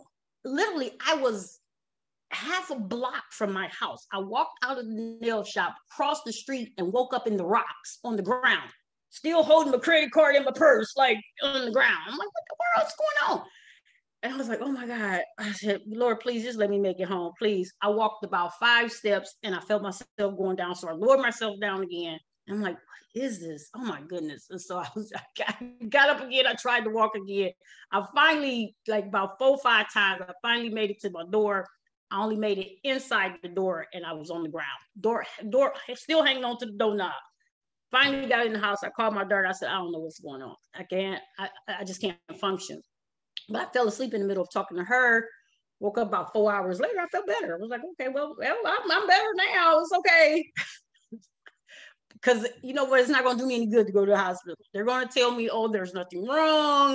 Um, oh, you're probably dehydrated. Here, drink this water. We'll give you an IV. Uh, yeah, your blood's low, but we're because I'm always low. It doesn't matter. I was just telling uh, her that I just got. I was in hospital on Saturday, and um, they was like, "Well, your hemoglobin's nine okay, that's that's good for me. I mean, that's hey, that's great. Um, I'm always low. So it doesn't, it's not like that's what causes it to me. I'm always low. That is, I, I still don't know my causes of that. I have a grandson that has full blown sickle cell who just got out of the hospital uh, yesterday. And I had to fight for him because they were trying to take out his gallbladder because he had gallstones. He was nauseous in the middle of the night. And nobody understands our bodies. Our bodies does not work like everybody else's body. I'm saying why are you trying? He's he just turned 10 a couple weeks ago. Why are you trying to take out his gallbladder? Oh, well, he has stones. Okay, are the stones bothering him? No, they're just there. Okay, then we're not cutting him open to take out his stones. He, he's in pain 90% of his life and he's not having pain right now. You want to cause pain? No, we're not doing that. Trust me, there will come a time when that's bothering him and we can do it then. But they don't understand that our you can't treat us how you treat everybody else they I tried to tell them before they did my knee surgery a month and a half ago that hey, I'm probably gonna have a little bit, it's gonna be a little bit different. It's not gonna be the same. I have a hyperimmune system. I don't know if the rest of y'all have a hyperimmune system, but one thing goes wrong with me and everything flares up. I got joint pain, arthritis, chest pain, pleurisy. I mean, it, it just it's snowball. It's a snowball effect that I constantly go through um, the fatigue, you you're just tired all the time. You know, this is the second marriage because the first one is like you don't ever want to do nothing. I can't, I want to, I do want to do stuff, but you know, I can't, I can't do it right now. So you know, you just don't have it, and don't nobody understand. You look normal. I mean, uh, you was on the phone all day long yesterday. You had no problems. So you know, but it's just a moment by moment thing. It's not all the time. It's just not all the time. It just it happens when it happens. That's just the way our life is. We have no rhyme. We have no reason. There's just that moment at that time. You know, I'm a person that just lives with pain.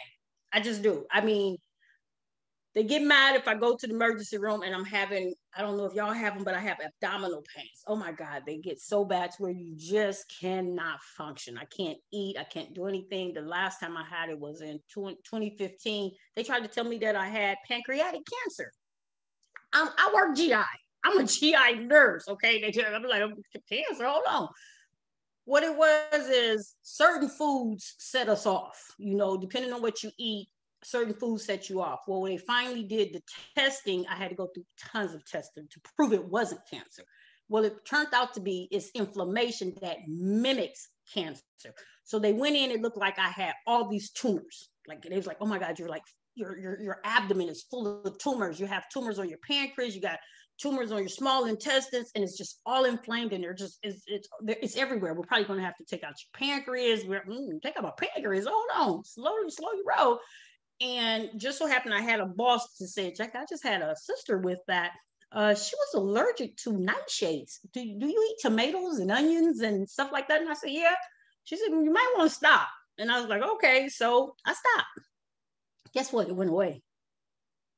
It's um, it was causing tomatoes, ketchup, iceberg lettuce. They were causing this inflammation process where you know like right now if you can see I've actually broke out.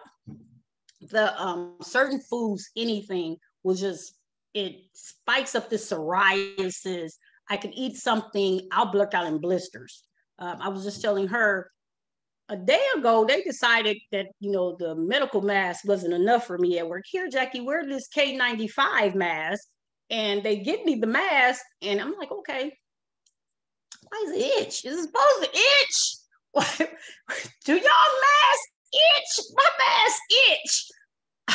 I go to the bathroom, I take off the mask, my whole face, I'm black. Y'all see, I'm dark. My whole face was red, broke out in blisters.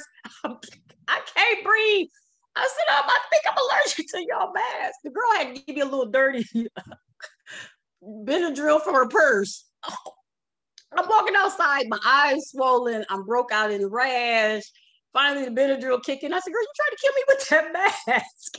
so is you just never know. It hits you when it hits you from everything. I mean, if it's in your blood, it's going to happen. I my D dimer. I don't know if y'all get y'all D dimer check, but I have problems with clotting. I clot a lot. Like my daughter had a baby and she decided I need to stay there with her as if I had a baby, so I can't leave the hospital. So I, I end up with the blood clot in the leg from being at the hospital with her. I ended up with the blood clot. I didn't have it. Then I ended up having another blood clot. It's like every time you turn around, it's like, oh my gosh. So I have a high D dimer where my because it sickles, it clots. It clots in my arms, in my feet, my, it hurts. Uh, I do the swelling of the hands, of the feet, but supposedly I only have the trait.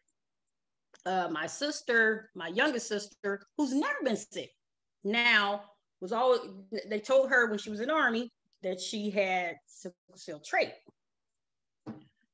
She just got sick maybe in December, November, and I'm. I said, "Can I look at your chart?" Because she was in the hospital. She was crying, screaming out in pain. My niece called me and she was like, "Hey, Auntie, can you look at call the hospital. The is in pain and they're not giving her anything. And I'm like, okay, let me call up there. And I say, hey, let me get into your chart. So I get into her chart. I look, I said, did anybody ever tell you you had sickle cell? She said, no, I got the trait. I said, no, I'm looking at your chart. You got sickle cell. She said, no, I, I have the trait. I said, I'm in your chart. You have sickle cell, not the trait. And so how that happened, we still don't know.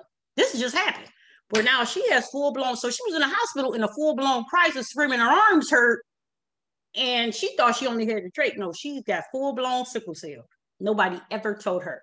She will be 50 this year, and she just found out that she has full blown sickle cell. So is I don't think we we don't know enough about it. We just don't. It's, it hasn't been studied. It hasn't been tested. It hasn't we just have not, it's sad to say, because I'm in the medical field, we're, we have not been a priority. You know, we're just told, oh, it's a trait. Just know that, you know, you just can't have kids with somebody else that got the trait. You'll be all right. And that's not the truth. This it does hurt. It does have signs. It does have symptoms, and it does affect our everyday life. And thanks to this baby here, we have a voice to say, "Hey, yeah, I've been doc. I told y'all I was sick, but you know, because don't nobody, they don't believe you. You're like, I told, I tried to tell y'all I couldn't run. You know, I used to be on track team. You'd be like, you know I can't breathe. Give me a minute. Oh no, Jackie, run again. Look, what part I can't breathe? You don't understand. You want me to be dead on the ground? I'm telling you, I can't breathe. So people don't understand that when you say you can't breathe, you can't breathe. Like seriously, you really cannot breathe. It's been many times I just had to just stop doing whatever I'm doing I almost passed. I did on the day before we got married. Like seriously, we were like nice, nice little waterfall in the park, walking around. I said, "Hey, we gotta stop." He's like, "Well," I said, we, we gotta stop. I gotta sit down. I gotta lay down. I'm gonna get on the ground. I'm getting the grass. I'm telling you right now, it's over. I can't go no further. I'm telling you right now, I feel it. I know when I'm going down. And we we found the park bench and I laid down I was out. That was a day before my wedding. It's just it happens when it happens. You don't know when it's going to happen. You don't know when you're not going to feel good. It just does, and, and it's it's a sad thing. But yeah, we. I'm so glad to find y'all that wow, okay, I haven't been crazy all these years, and okay, it it does affect me, and it does affect my everyday life, and but I push on. Like I said, I don't take any pain meds. I just push on because you go to the emergency room, they think you're drug seeking. Oh, my arms hurt. Oh, well, what do you want me to give you? Oh, so we doing this. Okay, I don't want you to give me nothing. How about you fix it? I want to be fixed. I don't want your drugs because your drugs is going to mask what's wrong with me. So I want you to find out why I'm having the pain. Let's do that. Let's fix the pain. Don't mask it. I don't want it masked because that's all a narcotic is going to do. A narcotic is just going to tell my mind that you're not in pain. It doesn't actually get rid of a pain. Narcotics are not pain medicine. They're not. They're opiates. I want an analgesic, an actual pain medicine. So if somebody gives you a narcotic and say, hey, this is for your pain, no, it just tells your mind, hey, you ain't got no pain. No, that's not a pain medicine. It's a narcotic. It's, it's a mind altering drug. That's what it does. No, let's get to the bottom. Let's get to the root cause of my pain and fix that. They don't want to hear that. Now they want to give me the pill. so definitely it's, it's been a struggle. It's been a struggle. And I'm glad to hear all of y'all's stories and meet all of y'all and understand that it's a process. You know, it's a lifelong thing. It's not going away tomorrow. Uh, and hopefully somebody will hear our story and start to actually listen and do the testing and the studies that we need to have done so that our children and our children's children don't have to go through what we've been going through for years. Thank you. Oh, Jackie, thank you so much for sharing your story. I felt like crying at part of it, just hearing um, when you're in the hospital, because I've had a similar experience, telling them over and over again, and nobody listened, and it caused complications. And I had a crisis really badly after that. Um, it's so traumatic, just all of our stories together. It's so traumatic, and you feel I mean, I feel every one of you guys sharing it touches me because I've lived those experiences. So thank you so much for sharing your story. Um, I don't know if Agnes is around. She's got her screen turned off. Oh, I lost oh. her. Hey, sis. Okay, so um, I'll just introduce you. Agnes is all the way from Australia, um, and she's an advocate and the founder of ASCA, is it ASCA the pronouns Australian Sickle Cell Advocacy Service, um, and she also hosts um, talks um, entitled Sickle Cell SCD Talks with Agnes. So um, thank you, sis. Welcome. Thank you so much. It's almost 11 p.m. here, and I woke up very early, so. if I, I think I'll, I may have to run afterwards, but thank you so much for giving me this opportunity and uh, lovely to meet you all on this platform. I know a few faces. Happy birthday, Farron. I've seen you around, but I think we've never interacted before. Nice to uh, meet you, Jackie and Sean. Um, well, I- I'm listening to all this, and I think for me, the first time that all these sickle cell trait issues were very, very much highlighted was the time that I had Dr. Tomia Austin on our platform. Before all my life I've just felt that I'm this I know there's something wrong, but I didn't think it was anything serious to be honest. And even though when I was pregnant with my youngest child who turned out to have sickle cell disease, I was in hospital for I think eight weeks, two weeks of those I was in ICU. I didn't think so much about it. And I thought because she was born with sickle cell, not so much that I had the sickle cell trait, if that makes sense. So until I met Dr. Austin on my platform, that's when things started adding up. And especially all these presentations from you, uh, Dr. Austin and Farron, sort of adds up. Even now, as I'm sitting right now, I have constant pain on my left leg all the time. And when I tell my husband, I just feel that maybe it's the bed. I keep telling him we should change the mattress because my left bed, my left leg always hurts. I just feel it's a bed. And I said, maybe sleep on, I'll sleep on your end because I don't know why my leg, even now, my left leg hurts. So my story, um, when I realized that definitely it had to do with sickle cell trait, um, I've got four kids and all the three were born okay. Two are born in Zambia, two are born here in Australia. One of them, we found out that she had sickle cell. But before that, when I was about six months pregnant, I was in hospital. And what started off like a, just a normal fever for, for three days. It's the first two days, I was just like, you know, it's just a normal fever. I took paracetamol, I was fine. The third day, the same thing happened, and I'm stubborn. I don't take medication. And my husband forced me to go to hospital it turned out it was the best thing I did because the third day, that fever never went down. I was in a, in a smaller suburb. By midnight, I was being transferred to the main hospital in the city because everything just went wrong. All my, my bloods just went berserk. My white blood cells went up. I was in constant pain. Before I know it, they were putting a catheter in me. I'm like, what's happening? Because my fever was just up the roof. In the middle of the night, they transferred me to the main hospital in the city and they didn't know what was wrong with me. Let's just say everyone was puzzled, and, and the doctors were wearing, um, you know, now that they're wearing the, the masking like COVID now, everybody was wearing that because they thought I, had some sort of a virus and, you know, I was contagious. I was in ICU, but I was isolated in ICU, if that makes sense. When you're in ICU, there's different stages but I was in this ward in the middle, like with windows so that people can see in. you know, it was only my husband was the only one allowed to go in, and all the doctors when they come in, they're all masking up because all my my bloods, everything was wrong. They didn't know what was wrong, and they did all the tests they could on this earth, everything, including. And one of the things that they really focused on was HIV. They thought I had HIV/AIDS. I was like, I've got, this is my fourth child are you telling me that all this time and and where is it where does it come from? Anyway they tested everything the tb tb of the bones. They took me to another bigger hospital to check maybe had tumors in me. They put a camera inside me and nothing was wrong.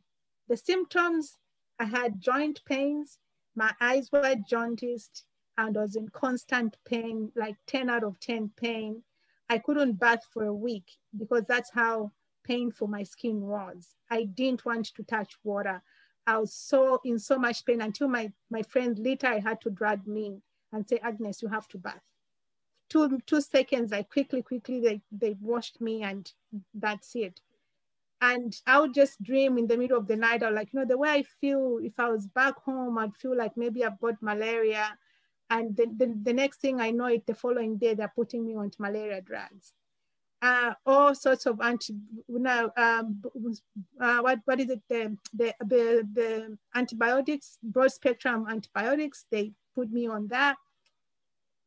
And because they are just doing try and error medications, I, I developed diabetes as well because they didn't know what to do. They put me on steroids, a very high dose of steroids. So I was swollen and then I developed diabetes and then I had jaundice and my HB kept dropping. And they had no idea. So they just kept me there. And when they started doing the steroids, for whatever reasons, the body started um, accepting and started just working slowly. And all this time, you know, I traced the doctor who, who treated me after 10 years. They never transfused me. So after mm. 10 years, I asked her that, what were you thinking? Were you trying to kill me or were you doing some form of study on me? Because I was pregnant and I had 6.7%. I think that's how you say it in the US. We say 67% HB and they didn't transfuse me and I was pregnant.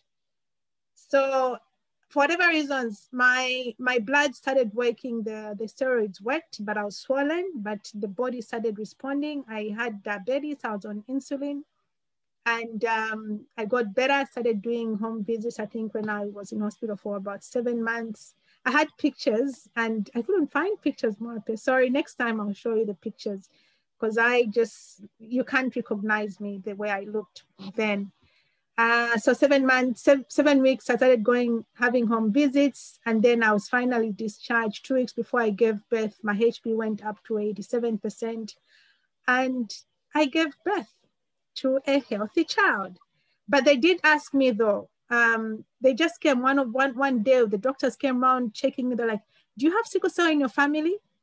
I had no idea we don't test for sickle cell trait in Zambia. If they do, most of the, the, the children present late to, to hospital after they have um, a symptom. We don't, it's not one of the prenatal testing for, for, for you know, for in Zambia, because my first two kids were born in Zambia. My third one was born in here in Australia, but even then, that's what we are fighting for as an organization. We don't have prenatal uh, screening, we don't have newborn screening for, for sickle cell disease. So I said no because I had no idea. And that's it. They took my word for it. They didn't think to test my husband or to say, okay, maybe we found a sickle cell trait in you, come back after six months or so. Nothing. As for, for them that ticked the box, they asked me, and that was it. So when my daughter was born, um, it took me a year to wean off um, the steroids because I was really swollen and as had um, if you have uh, healthcare professionals yes, steroids, you have to wean off slowly. I, it took me a year to wean off that. And, uh, you know, to cut the, the story short, for me, um, after I gave, uh, I, that was a major one that, especially after I, I saw uh, Dr. Tomia, that was the major one that I always think about. So when I've started learning now, especially when I met Mwape, then I said, now it makes sense when I was at school, I used to faint from high school. And my friends uh, now that we've connected, like, what happened to you in year 12? I used to faint because I was always anemic. Mm-hmm. Even today, I can't shower for more than five, six minutes, even if I'm having like a nice shower because I get dizzy. When I wake up in the morning, I can't get up fast like that because I'm always blacked out my blood pressure is always on the lower side. My systolic, the top one is mm, mm, normal, is about 96, 97 on the top. And if I go to the other time I went to the chemist, I was like, I don't feel well, maybe I've got high blood pressure. They tested me, and I think it was 115. I was like, I have high blood pressure. They're like, it's normal. I said, no, because my normal is about 96.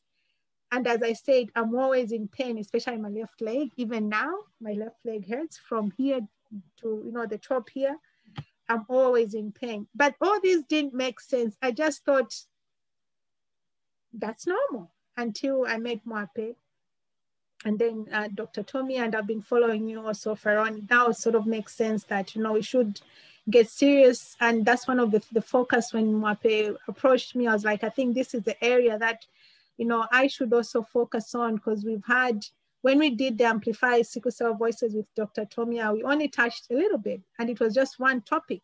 But I feel that's something that we should continue focusing on and encouraging people to get tested. But also if you have these uh, symptoms, you don't take them lightly, you know, get further tests or further referrals for you to understand what's going on with your body. Um, so I've, I've said, you know, at Mwape, I'm on this bandwagon. Uh, we are having the Amplify Sickle Cells the voices again starting end of April. And I think um, sickle cell trait will be at least in every um, topic somehow, somewhere. We just have to fix it. And so that we can continue um, raising uh, the bar for, for, for this condition that is sort of um, not sort of neglected. It's just, they just even even you know we have the sickle cell warrior moms when we come even people that come on my platform i'm concentrating on sickle cell disease sickle cell disease.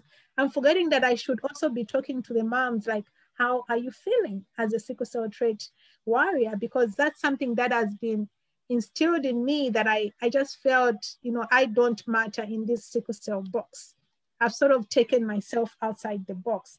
I feel my my job is to talk to sickle cell warriors and forget about until Mwape put that bulb in my head and Dr. Tommy, I was like, yes, I should start talking about this as well.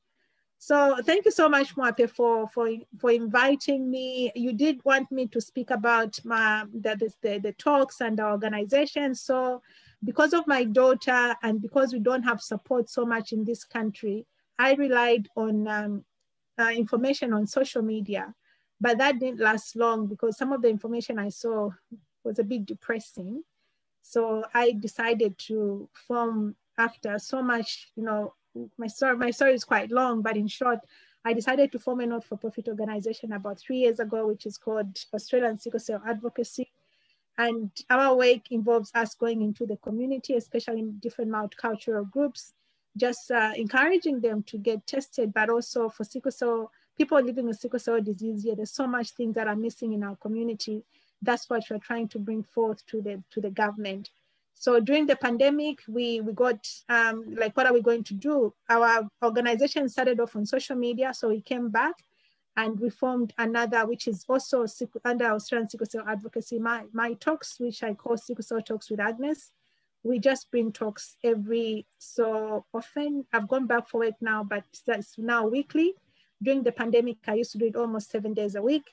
And through that, I thought we, we should talk more because we are all in lockdown and most of us were not working. We decided to do the Amplify Sickle Cell Voices from August to uh, January this year. We've had a break. We are going to debrief and think of other topics, but I think with a focus on the sickle cell trait. And uh, I'm, I'm excited to join the bandwagon and just, you know, anything that I can do, and I'll just try to raise awareness and read more about sickle cell trait because that's something that I, to be honest, I took myself off the, the box and thought that I'm not really affected until Mwape brought this up for, you know, for discussion. So thank you. it's 11.30 p.m. here, so I'll stick on for a bit and uh, just seeing one or two questions and I'll go and sleep because I've been up since six. So thank you so much for inviting me. Thank you so much, sis. I we all appreciate you. Um, I truly, truly appreciate you being here because I knew it, I knew it would be a bit late.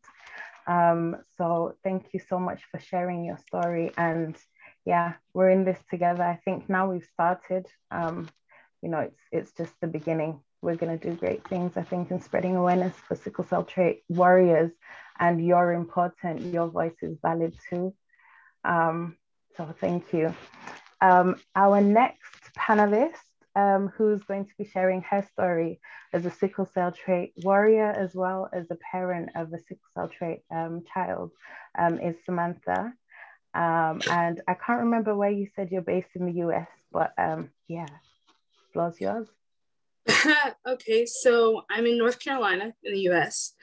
I'm going to attempt to get through this without getting emotional um, because this is very new to me. It's still very fresh. Um, see, hearing your stories, especially with Agnes, I relate to her. Um, I was I found out a year and a half ago that I have, well, actually a year ago, that I have the trait. Um, it was unaware to me until I had my youngest daughter, who is, as you stated, a sickle cell warrior.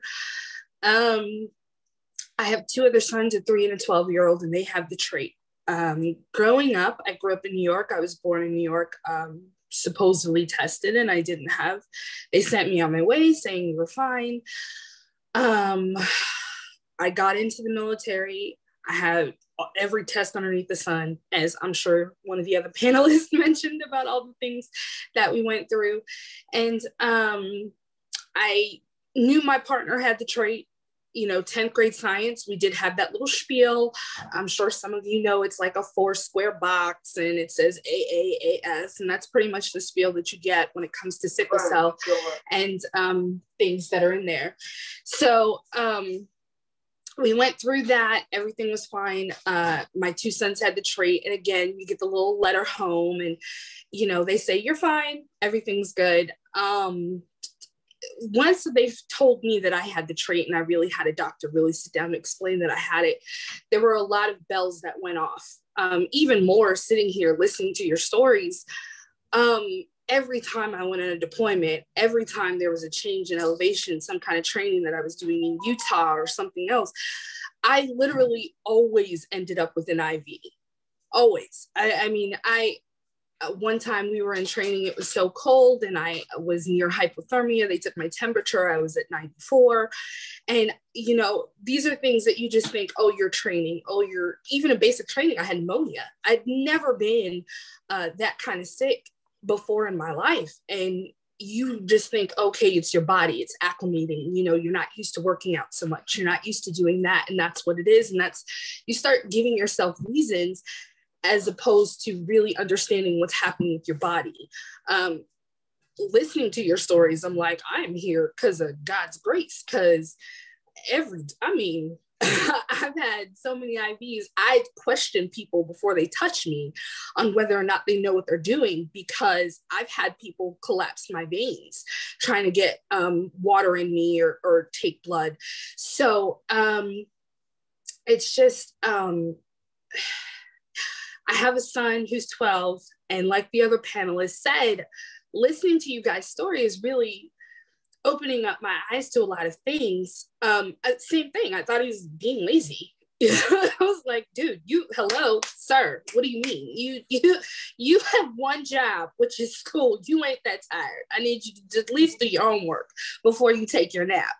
And um, in discovering that my youngest has sickle cell, it's really um, giving me a lot of information that I didn't have before.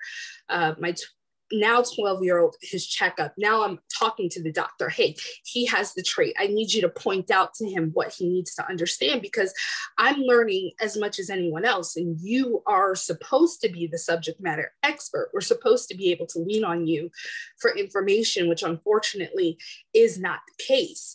Um, but fortunately this last time he we have him with a new doctor who is uh, a little bit more versed in sickle cell. So he was able to actually point to his body and says, hey, if this hurts, it's growing pains. If this hurts, it's sickle cell, it's the trait. You need to hydrate, you need to watch this, you need to do this, that, and third.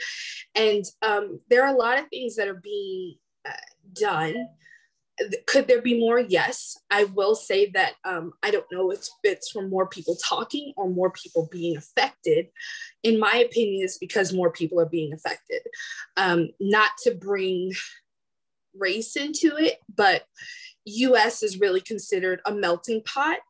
Um, there are a lot of multiracial children that are being born, and those genetics are being passed down. So now it's no longer just um, African Americans that are really being singled out for this because there are so many children that have this gene that's starting to be affected, which is why I think it's becoming more of a scale. Um, I actually just read an article a couple of months ago. Our United States Army will now do sickle cell trait testing upon entering the military. That's part of the panel, which should have been before, but you can't dwell on what should have been. You kind of just have to go from what happened today. And um, I'm first, I, am like I said, I'm really trying not to be emotional because you guys really are opening my eyes to a lot of things, whether it be with my family. Um, my partner has the trait. He's in Alaska right now, and it's cold. it's cold up there, but he is like, you know, hydrating and he's running and, you know, it freaks me out because he's still active duty military. Um, but he got tested for something completely unrelated to anything. And the doctor called him in the same way did call him in. It was like, hey, do you know you have the trait? And he's like, yeah, we know. He came home. He was like, I was like, yeah, I'm good. I got tested. They said I'm good even after my last child was born, I went back and raised my hand and was like, um, I need to get tested for the sickle cell trait. I, I, want to know what I have. And they tested me and said, uh, No, you don't have the trait. You're good. Listen, I have this whole baby who I know is mine. She has the same little flap on her ears when she came out. I was there. This is her. They are telling me she has sickle cell, and 10th grade science is telling me that I have to have the trait in order for this to happen. So, you sitting there telling me that I don't have the trait, something's amiss, something's wrong. I don't understand, but uh, we need to go back to the drawing board. And it was actually her doctor that made it make sense. As an adult, you like uh, I think it was Jackie said, they they look at you like you're out for something when when really you just want to understand. There are things happening to your body that you don't understand and you go to your medical expert for help and they're looking at you like oh you just want this or you no i want understanding. I want you to tell me what i need to do so that i am in peak physical fitness to help my family because that's where we are now. Um, so being her advocate is, um, I will say, has changed the direction in terms of what I wanted to go in. Um, I wore that uniform for 15 years, and um, it it took a lot for me to take it off. And now with her and my other kids, it's just kind of really showing me how much further we have to go. Um, not even just in this country, listening to your stories and understanding that newborn screenings don't happen in other countries like that, that blows my mind because that's all I knew. That nice little letter that I got in the mail for my two sons. And then when they told me about my daughter, they called me on the phone, you know, and they were like, hey, your daughter has sickle cell okay, well, now I have questions. And that doctor literally cuts me off and says, Your pediatrician will contact you, speak with them. Okay, so you're the one telling me she has this disease, but you have no information for me. And then I go to the pediatrician, and the pediatrician tells me, Yes, she has sickle cell. We're going to start her on penicillin, which in my opinion, is a strong antibiotic. so I'm already freaked out because now I have to give her medication every day. And I ask that doctor, the pediatrician, about sickle cell, and she tells me, oh, wait, we're going to send you to a hematologist. So it literally took me about three or four doctors for someone to really hear me and answer my questions. So um, the trait is now starting to become a component for me because maybe it's because I'm getting older. I don't know. I have pains and everything else. And like um, Dr. Please don't hate me because I can't remember the name. But um, like she was saying, at this age, it's not growing pains. At this age, it has to be something else, you know. But after spending so long in the uniform, I'm like, okay, well, what is it? Is it is it because I was you know running or i suffer from migraines all kinds of stuff and it's it's really um i want to say you guys have inspired me to go back and get retested and get more sensitive testing that was put out because there really are a lot of questions still for me. I'm still very new to all of this. Mm-hmm. Um, I really do just appreciate your stories and um, I think that's about it for my spiel of my experiences. Um, I actually have a heater on right now, and I think my partner who's behind me is about to kill me because she stay hot and I stay cold. So I'm going to turn this good thing off. but um, yeah, I appreciate you uh, letting me come on here. Um, I'm to heat that too. I do. I'll show you. It's a little here. It's a little. It is. It was, it was getting oh my together. god! Seriously, we need to go back and do more studies. Seriously, yes. I think uh, yeah, Dr. Tomia, you have to tell me which direction because I'm about to start my PhD I need to focus on these. Hey! oh my God. Yeah. The heater, the pajamas, the yes. gown, the gown. yes.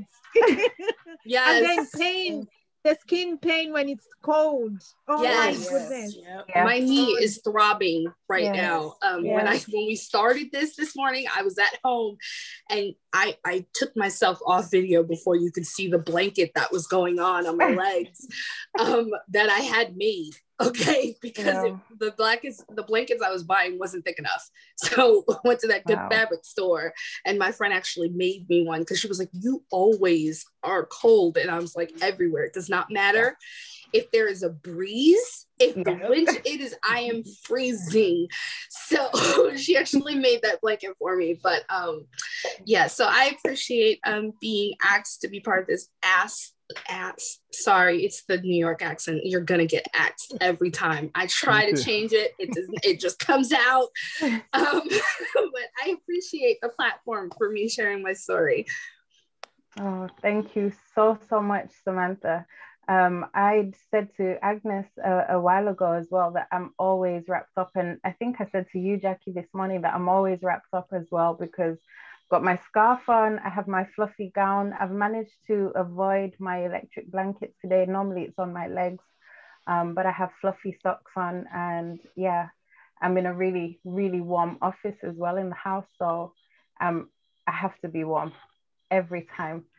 Um, thank you so much for sharing your story. Um, and our panelists, um, we are on time actually. Um, so Sean, you are our panelist that has a picture, and um, there is an additional panelist who um, was was invited to participate, um, and we have time for. So um, Adenike will be joining us as well after after Sean. So um, you are an advocate, uh, sorry, a sickle cell trait warrior, um, and an advocate for your sickle cell trait child. Is that right? Yes, that's right. Perfect and you're based in Toronto. Toronto, Canada. Thank, Thank you, Mwape, for the invitation and for the opportunity to share my story. This has been very new for me as well, and it's been amazing to hear your other stories and to hear from Dr. Tomia.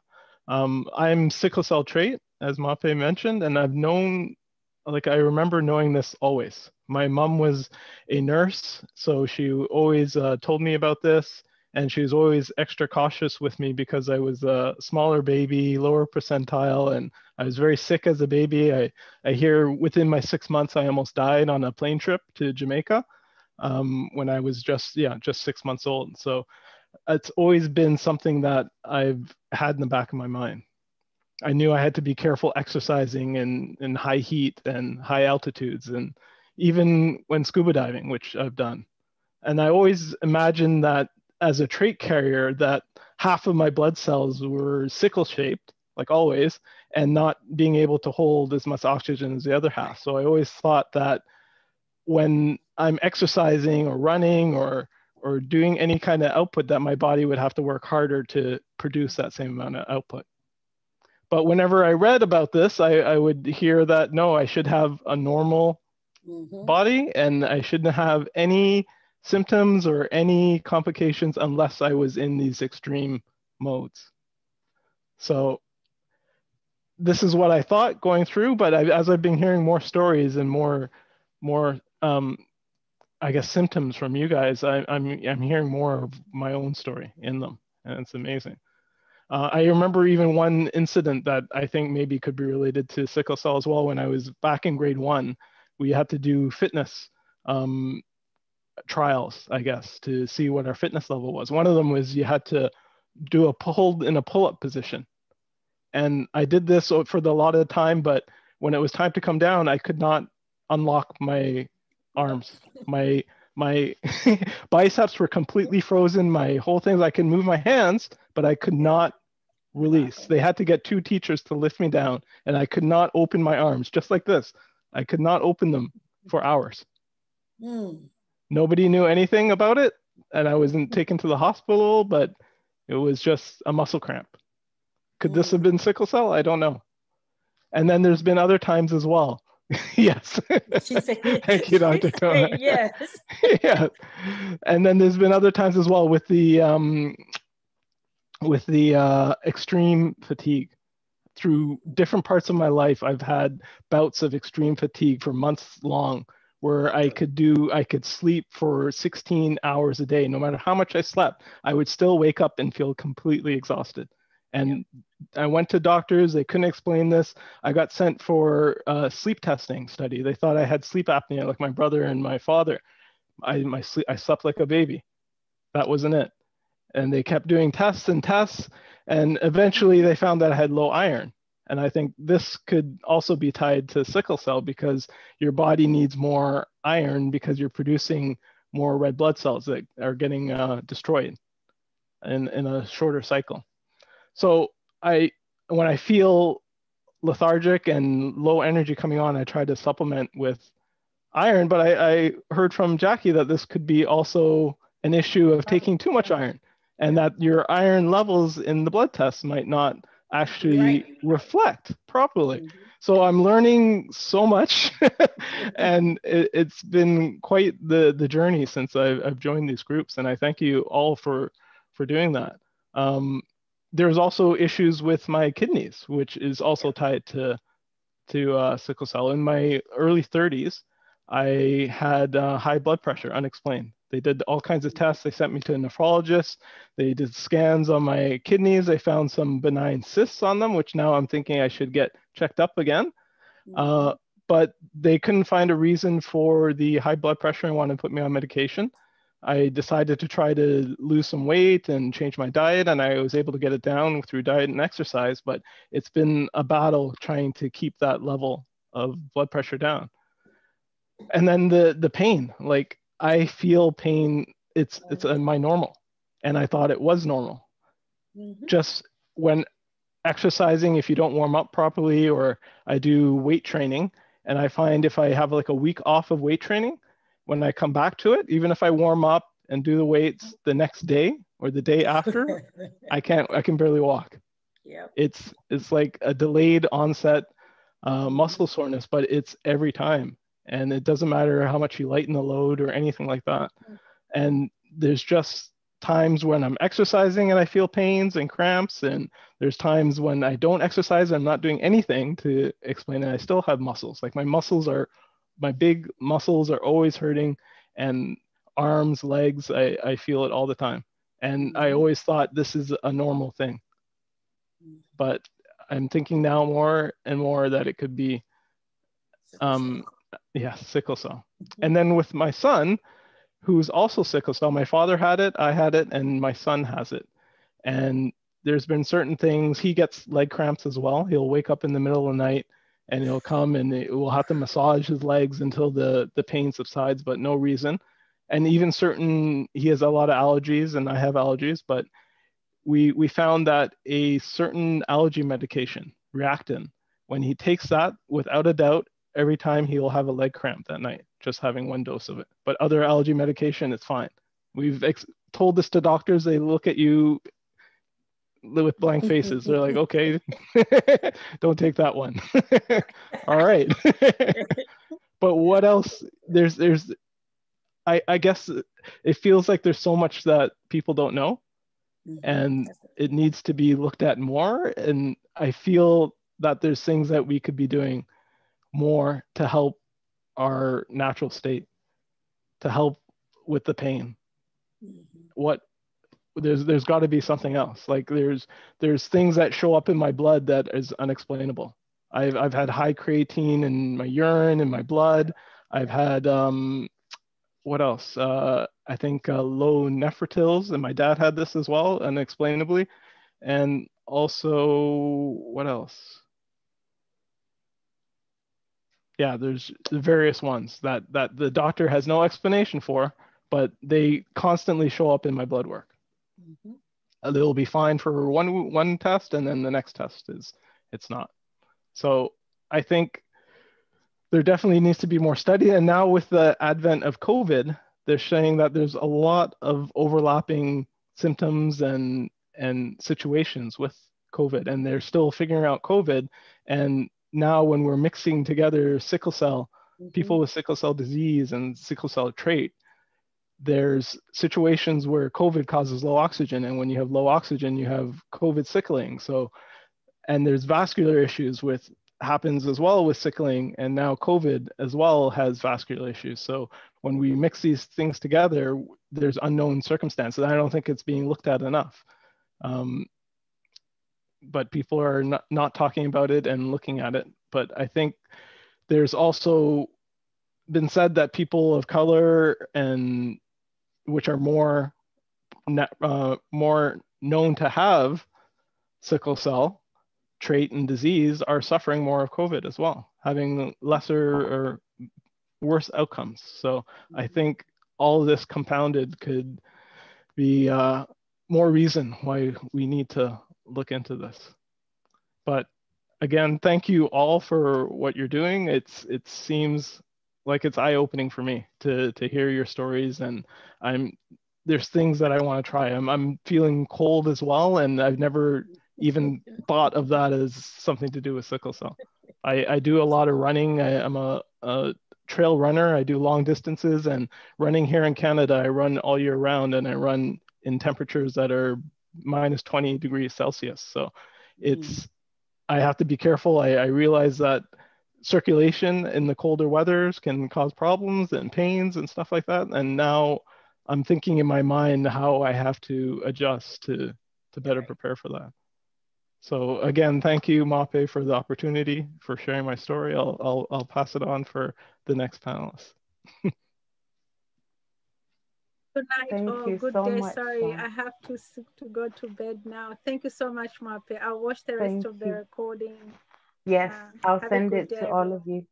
Thank you for joining us. This sleep well. The rest. Good day. bye bye. Thank bye. you.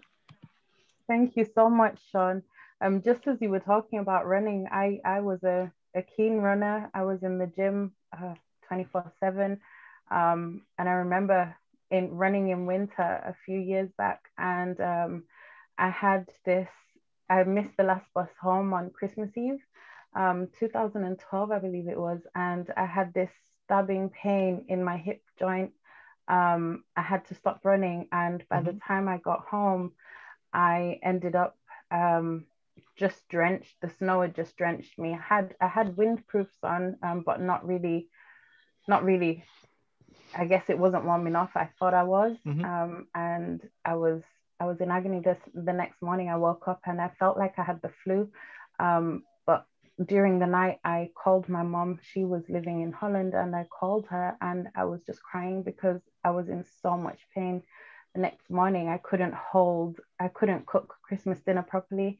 Um, I had to ask for help to even um, just to kind of slice the the turkey um, I think mm. it was actually a chicken because I, I didn't go shopping on time. I was working out of out of the city that I was based in. So um, yeah, just thinking back to running and all these things yeah. we just don't know. I, I haven't, yeah, I haven't run in a week actually. The last run I was on 2K into it, I felt a sharp pain in my calf and I couldn't run on it. I had to walk home and I haven't run since, just trying to rest.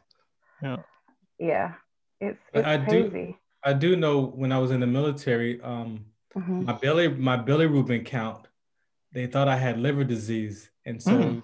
every time I got sick or go to the doctor, she would do my blood work and my my she's like your liver and so she'd make me go home and go fast and wow. then I would fast and then I would go back and she said, well, there's they dropped a little bit, but they still seem high. And mm-hmm. I, again, nothing, I wasn't doing this work, so I had no idea. I'm like, I don't have no liver disease, but yeah. she always panicked um, when they when right. she did my yes. blood work. Yeah, same with my doctor. They'll they, they see the high marker. They say, okay, go home. We'll test again in a few weeks and yeah. see if it's again, and then it might be normal. And then the next year I come back, it's high again. So yeah, yeah. I wanted to ask you that, Sean, because you said I wanted to ask you that because you kept saying that the stuff, your symptoms, and I was like, I wonder if they said something about his bilirubin count. So that's yeah, why I, I did get that, that as well. Yeah. Wow. And mine, mine was the opposite, where I'd end up either collapsing in the gym and then I ended up with kidney problems. And they said I had pyelonephritis when I went into the hospital um, to the um, A&E department, the accident and emergency department. And they said to me, if I'd have gone any longer not going in, I'd have ended up um, with septic shock and could have died. And that was a shock. And it's only now, this past year, just figuring out what it all relates to. And it's like, wow, this is, it's dangerous not knowing knowledge mm-hmm. and, and being able to do something about it is really empowering.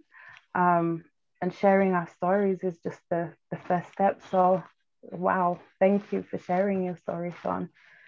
Um, and our next panelist is Adenike. Um, she's joined us and will be sharing her sickle cell trait story as well.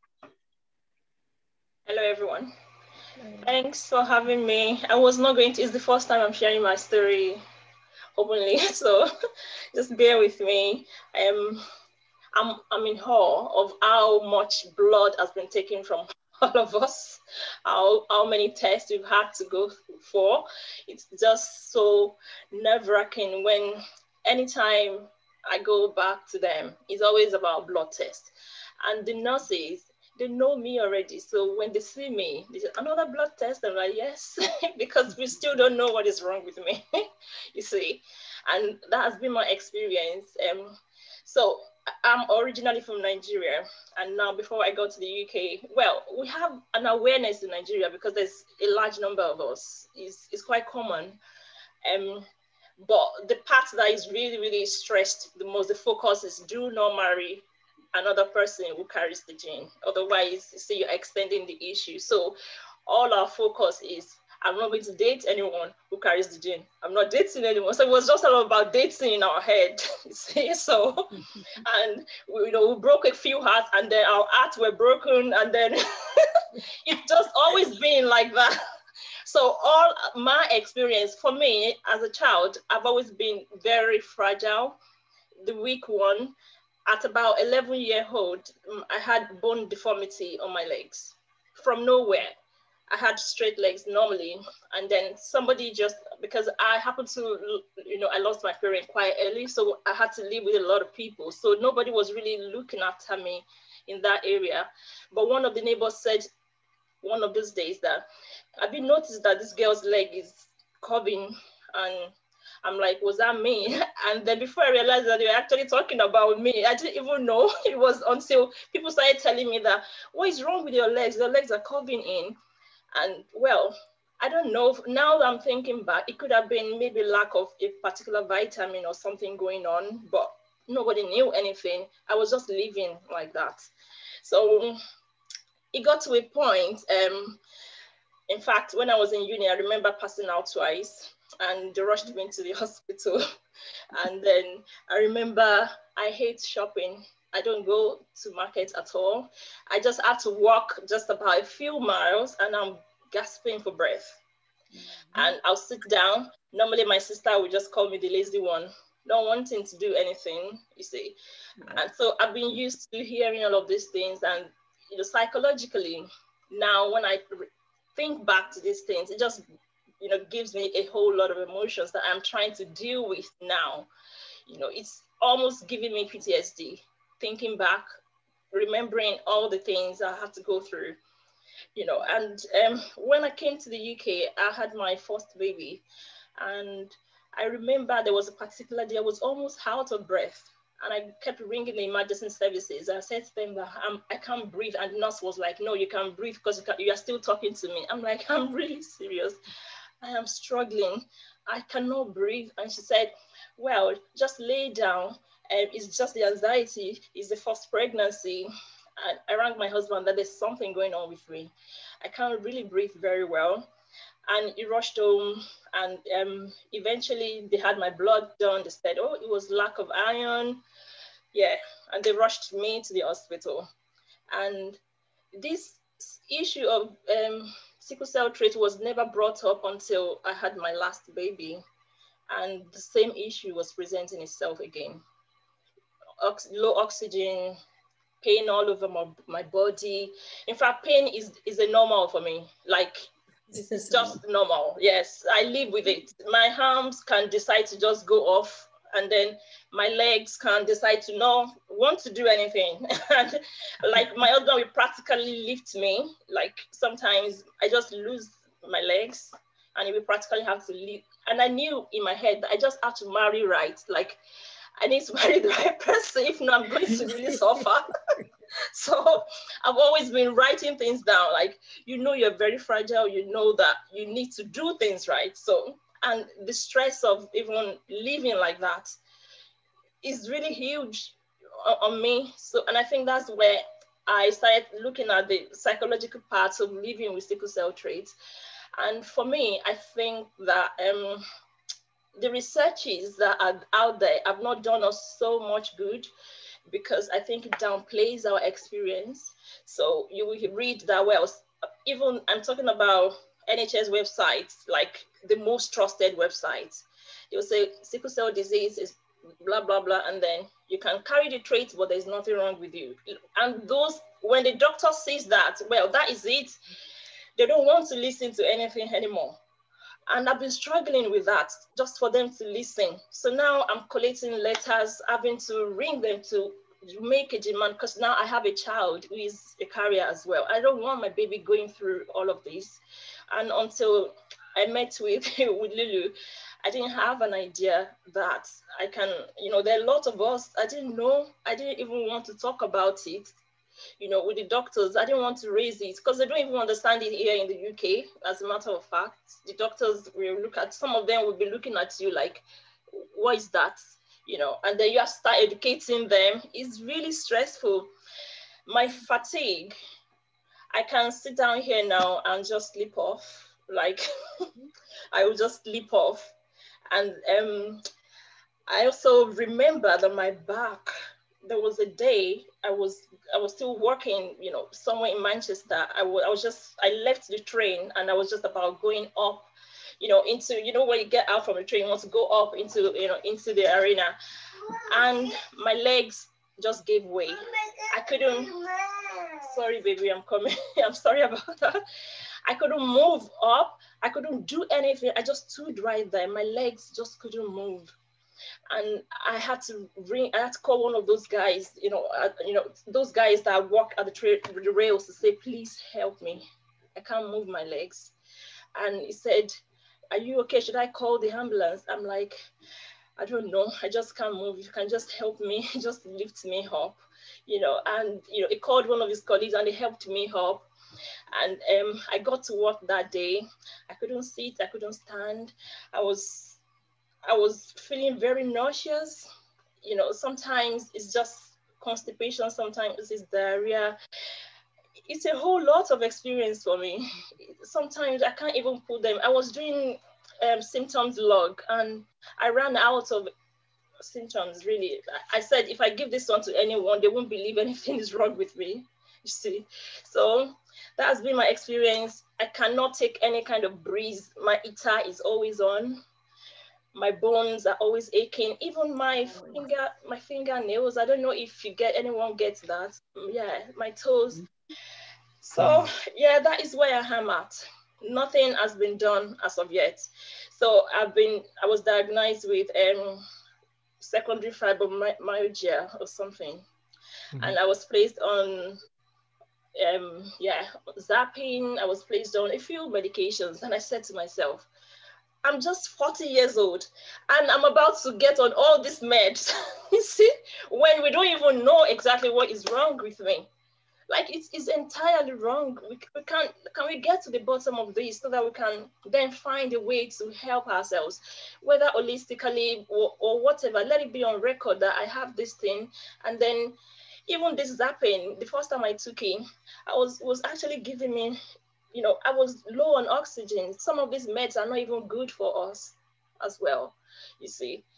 So that has been my experience. It's been so, so hard on me personally um, realizing that I have to live almost like this for the rest of my life. I think that's where I am at right now. I'm still trying to use, you know, all the resources that I have to be able to help myself to be mentally stable you see i think is for me is a psychological part you know more like um the pain is always there but i'm trying to deal with the psychological part of this yeah now. So thank you for this opportunity. I i really do. It's my first time sharing with everyone. And i know i'm talking here and there. Hopefully next time when we meet i'll be more coordinated you know and no, talk about fine. my experience. Thank you. You're fine yeah. That mental piece is definitely um just as important as our as our trait crisis and our trait issues. That's a human being, you know. That's everybody deals with some type of mental health uh, conversation, so it's not just isolated to us, but it does impact us on, on a different level. So yeah, definitely. Sure, especially with the the fatigue. I think with the no energy to do anything, it kind of puts yeah. you into a cycle. Yeah. With the yeah. and then, then as she as she mentioned, like just her environment, like when you don't know and, and people around you are like, uh, what's wrong with you? It's like those, those, uh, they call it the limbic system. The limbic system is where emotions and short-term memories mm. are centered. So silent traumas happen yes. in that part of the brain. So it's not always something traumatic that has to happen for a PTSD or, or, these kind of issues. So it's, it's a human being, it's a, it's a human being flaw. And that's something that, that me yeah. personally, I want to make sure we take care of that conversation. So thank yeah. you for sharing. Mm-hmm. Thank you. Yeah, especially with pain, our body counts the score.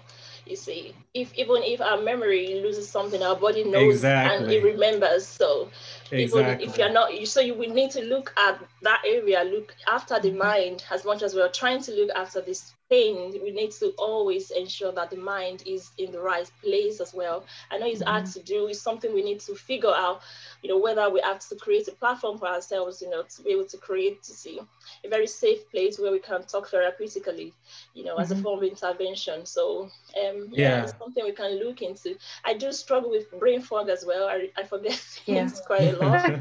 yes. yeah. yeah. yeah. Uh, we, we are working that out. I um I just want to say as uh, also someone who's very new to to learning a lot. I, my heart goes out to you when you talk to doctors who don't understand. Mm-hmm. Um, I had a talk with Agnes a week ago, and that was my whole thing was you get ingrained um, that the doctor is supposed to be the know-all you know and and a lot of them do have mm-hmm. god complexes if we're being completely honest so when you when you go to the person who's supposed to know and they either one don't believe you two don't know so they try to pass it off it does it does break you down but i'm glad that you found us here i'm glad that you found this platform um, I, I can't speak for everyone, but after hearing everyone, I will assume that they will co sign with what I'm about to say. But we are here you're always more yeah. than welcome to reach out to us. Um, I also have a young child that is just as uh, lively as yours is. That's why I was like, oh, look at the baby, because my my partner actually said, look at Folly, because my son's name's for Folly, and he if he was anywhere near here, good child, y'all y'all would have heard it. Okay, he would have been all all the way live. So um, we're here. You're no, I don't want anyone to walk away from this, whether it's a panelist, um, because what I'm hearing is that a, lot of it is new to us. Mm-hmm. And um, there's a lot of communities that are out there. Mm-hmm. Even the communities for us, we're more looked at as advocates for the sickle cell disease as opposed to what we're going through. Mm-hmm. And um, opening my eyes with a lot of things that you guys have have spoken about today. I just if no one if anybody takes anything away from this mm-hmm. it just needs to be that you're not alone that we are here. And i'm always i mean i'm on facebook all the time. Most of my business is on facebook so i'm always there and at various hours. I also have the sleep problem so i don't sleep much. Um but i just i my heart goes out to you and i'm glad that you found this panel and were was mm-hmm. able to share your story with us because we we do appreciate it yeah. greatly I, I do want to say something because uh, as i've been advocating for the last 10 years i've met people with sickle cell trait mm-hmm. who also have a glucose deficiency called g6pd so I'm not sure if hmm. someone mentioned that in the group the other day has has tested yeah. for that. It, it could cause you to pass out as well um, because of certain types of certain types of foods um, and medication can trigger. Drink that. water right now. So wow. it's, it's, called G6PD, the glucose uh, deficiency. Um, so you can ask your doctors to or, or look at your paperwork to see if, it, if you've done that test. But I met people with sickle cell trait. Uh, I had a friend, uh, my coworker, who came back from Iraq. What got done with his deployment, they they brought like him and four other soldiers in a room and said and gave him this pamphlet said do you know you have g6pd he's like what? So always the, a damn pamphlet. Right from the Sorry. deployment yeah. From the deployment he he was he found out that he was a, also has g6pd and he has sickle cell traits. So i've met quite a, a couple of people. I won't say quite a few wow. but i've met a few um, military personnel who have had and my friend my, my other friend he was passing out he was literally passing out mm-hmm. at his home, not understanding like why am I passing out? And so, you know, as an advocate, you know, I took responsibility for a lot of this conversation. And when I found out about G6PD and we did research, mm-hmm. um, certain medications and certain foods can trigger that glucose deficiency, and you you can pass out. Wow. Mm-hmm. Thank you for for letting us know that because yeah, I I'd never heard of G6PD. Um, I, I want to say thank you to um, Nike as well. Adenike, thank you so much for sharing your story with us today and for, for being here. Um, we appreciate you. And yeah, I, I want to just reiterate what Samantha said as well. You know, we're all here to anyone who's watching um, and, you know, been here as an attendee as well. We're here. Um, I can see a message um, in the in the chat um, to Carl. I'm not sure if you're part of the, the group, but um, you're welcome to join the, the sickle cell trait um, support and information group, um, Global Voices United on Facebook. Um, you're welcome to join us if you're not already in there. Um, and anybody else who's who's either interested in learning more about sickle cell trait or who is a sickle cell trait warrior or who has sickle cell trait but hasn't experienced any symptoms as yet because it isn't benign. There are circumstances, like we all know, that you know we mm-hmm. can all experience crises if we're not already suffering, um, or if we haven't already experienced pain um, I, from it.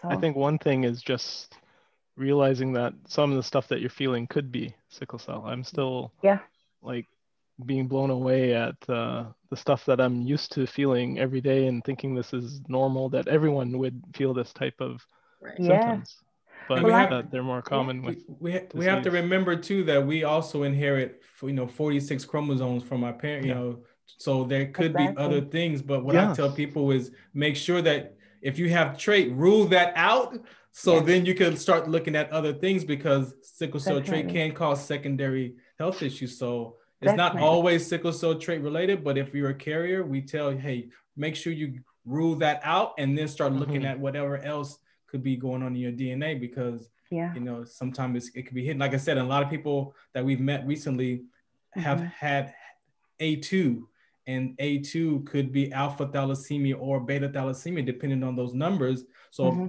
may, many people may have been misdiagnosed yep. and have sickle cell uh, a form of sickle cell disease and think they only have the trait. And so wow. the A the A2 is very important to, to start to look at.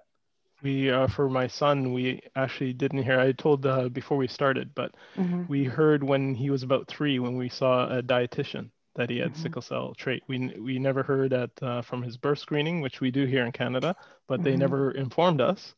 And even that uh, we had lots of pediatricians, well baby visits. It wasn't until he was three years old that we were seeing a uh, dietitian who's looking through his thing and say, "Hey, did you know your son has sickle cell trait?" And I knew about sickle cell trait, so mm-hmm. we were like, "What?" yeah, it was a, a big surprise. Yeah. Wow. You know, uh, Sean, what you said earlier, um, you said your son has problems with uh, allergy medicine. Yeah. I actually have that. I, I take Benadryl because sometimes I have to, yeah. but it actually causes like a restless leg syndrome. Like I take it and then my legs start kicking and hurting. Oh, so when you wow. said that, I was like, oh my God, that, yeah, that, wow. it does it to me too with Benadryl. Still take yeah. it though. wow. Yeah, it's, it's, yeah. Yeah, that's true. I know. I remember there were some um, some meds that I, that I was actually given that caused me to um to vomit quite severely, like very bad ones. That um and then they had to like strike them off for me as part of my uh, allergy allergy med. So I never even knew about that before mm-hmm. until yeah mm-hmm. about two years ago that I was allergic to some some meds. So you know it's, mm-hmm. it's, it's a whole lot of experience and unfolding events as well. So I think we just need to open ourselves up. I think the um the, the, the thing the major harm that has been done to us really is the fact yeah. that we've been told that this means nothing. But at, yeah. the, at the end of the day, it means a lot. Right. Yeah and the time we've that, lost yeah, the pain, exactly. and, the pain mentally. Also mentally and that is the general rule even up until now like mm-hmm. I met with you know a, a, sickle cell carrier, and you're trying to tell them that well, as a trait carrier, I'm actually very symptomatic, and they say to yeah. you that, and uh, no, you should not be. Mm-hmm. Yeah. yeah. Yes, for sure. Just, you always feel that, but we, we, we all have we all have people with sickle cell disease in our yeah. lives, so we know the type of pain and a lot mm-hmm. more symptoms, at least more than me. I, some of you guys have uh, it seems more severe actual episodes where I have kind of like a like a static always pain. I don't mm-hmm. get like a sharp mm-hmm. onset and offset of pain. But I think always that in our mind we we think well at least we don't have the disease right mm-hmm. yeah we only have the trait so it could be worse right yeah yeah i'm a, i'm actually i can be mystified uh, you know at the thought of your the provider your your doctors the the persons that took oaths to do no harm can um be insensitive. Mm-hmm. I don't choose to labor on that side of it. Uh, the, the facts are that they are not educated enough. Mm-hmm. And uh, so I have good news. And the good news is that the As One Foundation, along with some of our really strong partners here in the US, we are, and I believe it's one of the first, uh, we are planning uh, a continuing education event for providers uh, and if, if it's if they if the CEUs would be accepted at the institute uh, international institutions, they would be welcome to participate.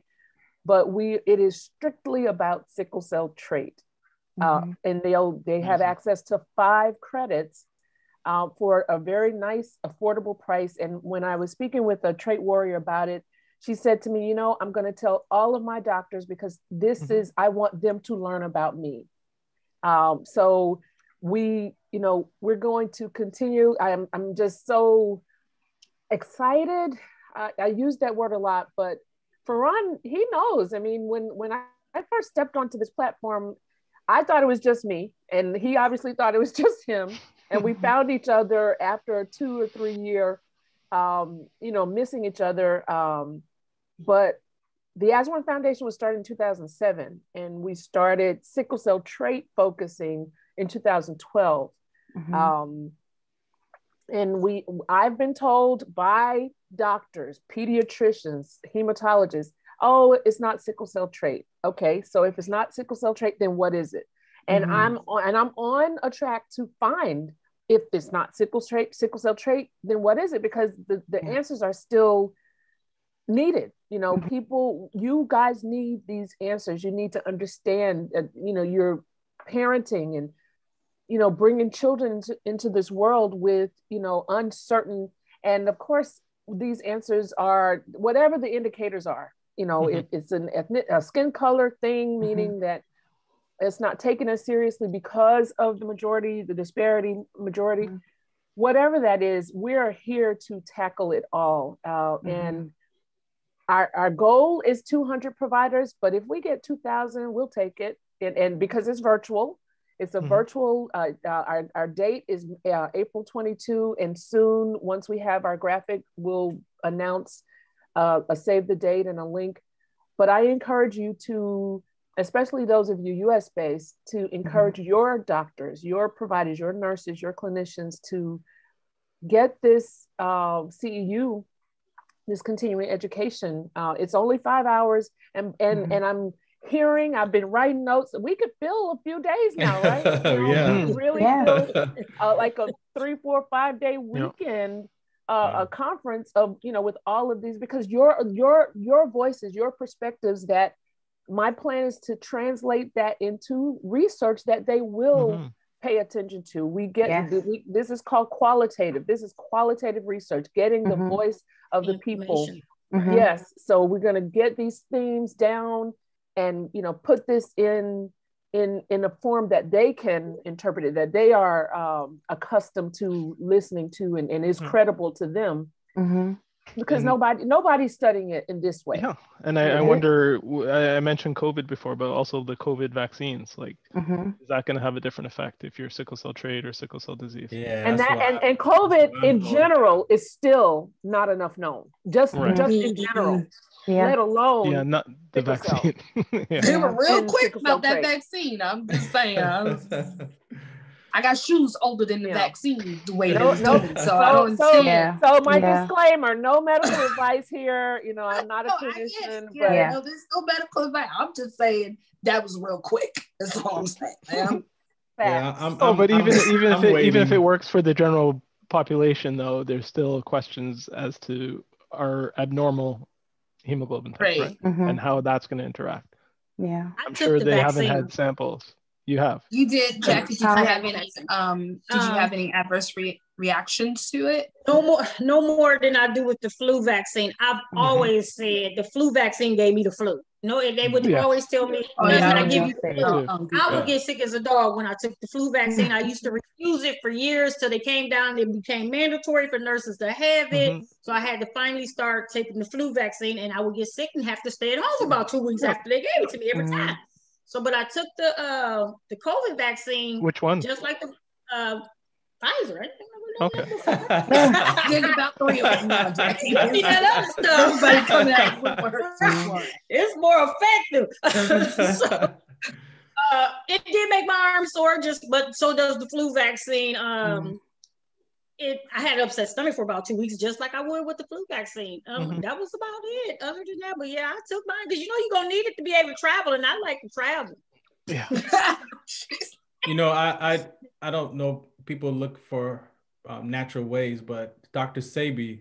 Um, oh, I, I followed Dr. Sebi till they killed the Yeah, Dr. Sebi. I, I have, I have. Um, I'm on his supplement, and and mm-hmm. so what he discovered really was to how to clean the blood of mucus. Mm-hmm. And and that is really and then he, and he also talks about how the lack of iron can cause so many other diseases. Mm-hmm. Right. So if you yeah. want if you want herbal, you know, herbal stuff, there is there's stuff out there there is, yeah. you can take naturally. Um unfortunately mm-hmm. he did pass away, um, but his family um, they're still doing some work in that area. So yeah. I, I, I take a supplement and I'm doing that still before I get that vaccine because I just want to make sure with my health, own health issues of yeah. low vitamin D and things like that. I'm like, nah, nah, I'm not, I'm not ready for that yet. So, right. Yeah.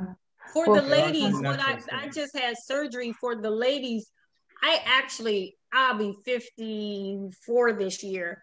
Um, and I had surgery about a month and a half ago. Before my surgery, I took a prenatal vitamin for months because mm-hmm. you know everything is in a prenatal vitamin and it mm-hmm. actually got my blood up to like a 10 So, mm-hmm. so otherwise, when I would have showed up, they'd be like, "Oh no, your blood too low. We can't do the surgery." So I just mm-hmm. took a prenatal vitamin every day. So if y'all have problems, prenatal vitamins have everything in there that you needed. We ain't mm-hmm. pregnant, but hey, get all that stuff and do. Uh, it, it worked for me. It helps. And it helps. Moringa, moringa is a, a big one as well. Yeah. It helps to cleanse the blood, oxygenates the blood as well. So, and it's it's got I believe ninety two different nutrients in it as well. Um, I'm sorry, what what was that called? Moringa, Moringa, Moringa oleifera. Why don't I have any paper? That's really good. Um, I, okay, Moringa, guys. as well as the uh, um, sea moss gel. Yes. Um, oh yeah, the sea moss. Yeah, yeah I know we, about that sea moss. Does? Yeah, speaking. Yeah. Speaking speaking of this question, uh, there's a question in the chat that's speaking to or asking about. I'm, I'm sorry if I may. No, yeah, go ahead, please. Yes. Uh, uh, like Sean, I run marathons with sickle cell trait. Can anyone speak on suggestions for diet experiences that lessen sickle cell trait symptoms or foods that contribute to just feeling better? I answered number one, two, three through 10, hydrate, hydrate, hydrate. Yeah, uh, I, uh, there is a current professional athlete with the uh, New Orleans Saints by the name of um, Ty Montgomery. He does have sickle cell trait, um, and he he speaks about learning how to eat and drink hydration when he was in college. Mm-hmm. Uh, he had re- he had the advantage of really good trainers, and um, so he eats hydration by consuming hydrating foods like mm-hmm. cucumber mm-hmm. and melons and stuff, and yes. then he is conscious about his need for rest. Uh, again, this goes back to the warm up and uh, recovery, mm-hmm. and re- yeah. that re- rest is not it's not negotiable.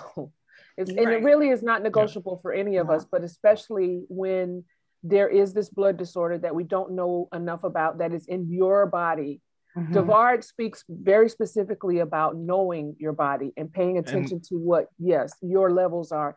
He is retired, but he works out and, and still maintains his NFL fitness level, mm-hmm. uh, and then is an active father of three boys. Um, but he went into the gym one day and got on the treadmill and just wanted to go for it. And in going for it, dizzy, almost passed mm-hmm. out, ended up mm-hmm. vomiting, felt pain in his side, and he calls that an episode. And he's like, I can't do that. I, I have to warm up. I have to make sure my hydration is fine and yeah. i have to he he's also very much so into positivity therapy he speaks in the affirmative he speaks positivity you know addressing that mental health part of it mm-hmm. but he is very conscious about hydration and it's something that is, i take it for granted and I wrote Operation Hydration. Yes. and, and I think if you mention hydration as well a lot, what about um, sodium and other minerals that help you absorb the water? Mm-hmm. Because yeah. if you're drinking a lot of water, it can off balance your ability to absorb and use the water, right? Right. Yeah, and I'm teetering into the medical advice, so I'm gonna teeter back this way. Right, right. definitely, it is a case by case. First of all, we're all different. Before mm-hmm. sickle cell, before sickle cell trait, we're all different. Mm-hmm. Then each sickle cell patient is like the snowflake. There's no uh, two snowflakes alike. So it is mm-hmm. case by case by case. So you are tasked with paying attention. You cannot do a better thing than to have a symptom journal. Mm-hmm. You know, you just can't. You it, it it is it is like your Bible. You are taking this stuff down. You're doing. You can't do that enough. So mm-hmm. I and and I like I said, I am a listener of the people. This is qualitative research is where I love to be. I'm I'm listening. I'm listening for things and I, I don't feel we've reached saturation yet. Saturation mm. where you're hearing the same thing over and over again. No, we we've not reached saturation yet because the right person, the right people aren't hearing it. Um, when we, when we have doctors overeducated about sickle cell trait, when we have sickle cell trait people that can go into a doctor's office in an ER, oh, and they know who you are, you're automatically triaged, you're automatically, you know, dealt with, then maybe we're there. But mm-hmm when sickle cell trait and sickle cell starts getting treated like cancer, maybe we've made some progress. Uh, so I want to I want to drop some knowledge on the rhabdo. Um, oh again. yeah. So so the basics of rhabdo is once that muscle enzyme leaks into the bloodstream, it becomes mm-hmm. toxins. Mm-hmm. So it's it's leaking out myoglobin, which is muscle particles, but also the negative toxins in the muscles. So mm-hmm. the negative potassium is one of the major ones that if it enough of that leaks out into your bloodstream and it gets to the heart, it can trigger the heart in a negative function, which will mm-hmm. cause which causes the heart attack. And also when it reaches the kidneys, the kidneys can't filter all the toxins. So that's where renal failure happens. Mm-hmm. So people, like I said, without having sickle cell trait, you can experience rhabdo yes. just because of lack of dehydration or if you're on cholesterol medication. Mm-hmm. Um, other other red blood cell conditions also can trigger rhabdo as well. So mm-hmm. the, the, the the part about the sudden death with rhabdo is the negative toxins that leak into the bloodstream and they say it's the negative potassium. That if you already have heart issues, then can you imagine the arrhythmia that that that that negative electrical charge can have on the heart? And so it gets mm-hmm. written down as heart attacks. And mm-hmm. when I when I was shared by my mental health provider, he wrote a call, he wrote a student handbook from high school to college, and he had two paragraphs or two pages of sickle cell trait exertion with athletes. And mm-hmm. no one had told me what that was until he says, What are you going to do when you retire? I'm like, mm-hmm. eh, maybe sell some hats and t-shirts. I have an idea for a sports brand. What's the count? Maybe I'll just do that. Um, and so he showed me that page in his book. And mm-hmm. I read that, I'm crying. He's like, Yeah, you could use your sports brand and become an advocate. I'm like, what's what's an advocate? Oh, you can mm-hmm. actually share your story and educate people and sell your hats and t-shirts to pay for your travels. And I was like, what? But most of all, it was that he knew what rhabdo was and what the effects of it. And from that moment on, that was 2010, I've been at it because he showed it to me that mm-hmm. it gets overlooked, it gets misdiagnosed, and people have been dying for years. Yep. The military, the army is why they're doing the testing because they only looked for anemia. They mm-hmm. blocked people who had sickle cell disease, you couldn't join, but they only looked for your blood work with anemia issues. But now, because it has happened for so much um, to, to military personnel and even in other branches as well, Navy, um, so they they have they finally had to take a look at it. They did do some studies mm-hmm. where they made everybody um, at certain temperatures drink water, so it didn't single out trait carriers. It, mm-hmm. it did possibly reduce, but then if you have soldiers who are on their own exercising and traveling and doing all these things on their own and still not aware it's not just you know when you're doing the physical fitness test so mm-hmm. it is very is very important the rhabdo especially when it's with the ECAS at that level of ex- explosive mm-hmm. the red blood cells explode and so that is wow. is one of the things that rhabdo is why rhabdo is so important and it's mm-hmm. really not addressed so having that conversation added to the sickle cell trait. Or people have, again, you misdiagnose and you have sickle cell SC. Mm-hmm. In, in sickle cell SD, SC disease, the C trait crystallizes. So with people, people person with sickle cell SC, the S mutates and the C trait crystallizes. So that's why they have different types of health issues. Um, and like I said, sickle cell and thalassemia. One mm-hmm. might not have enough red blood cells or too many red blood cells. So if you don't know and you're not aware, it, it could be fatal. Mm-hmm. And, and that's what that's one of the risk factors that have been there in these documents, but nobody's really had those dialogues. So mm-hmm. um, I'm I've I've taken that on as as the rest of my life as a conversation to make sure that if I could just bring that awareness, mm-hmm. you know, you can't tell people what to do. Nobody wants to be told what to do, yeah. but if mm-hmm. you can give them information knowledge. and the knowledge and the willingness for them to look in their own life and be like, mm-hmm. hey, you know what? I do have something going on. Well, maybe I'm not saying that's what it is, but you could start there.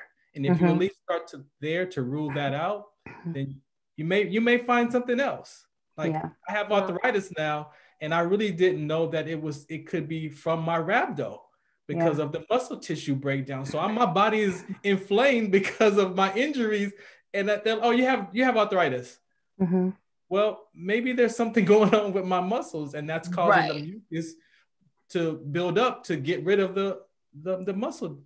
And you know, the military, you get they hear the word arthritis, you get naproxen. Oh, they oh, give you the things like yeah. It, so so uh, so I've actually uh, actually approached um, the uh, Arthritis Foundation because they're doing studies on veterans because mm-hmm. a lot of us get out of the military with arthritis issues, and yep. it said skeletal muscular issues. So when I read that in the arthritis uh, report, I was like, that's me. like right.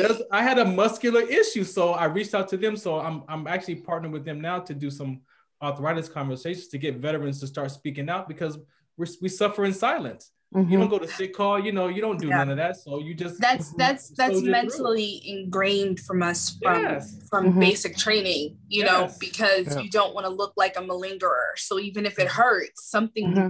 physically has to break yeah. for you to be like, okay, yeah. Cause I mean, I used to run all the time. Literally, mm-hmm. what caused me to stop running my knee dislocated during a PT test. Wow.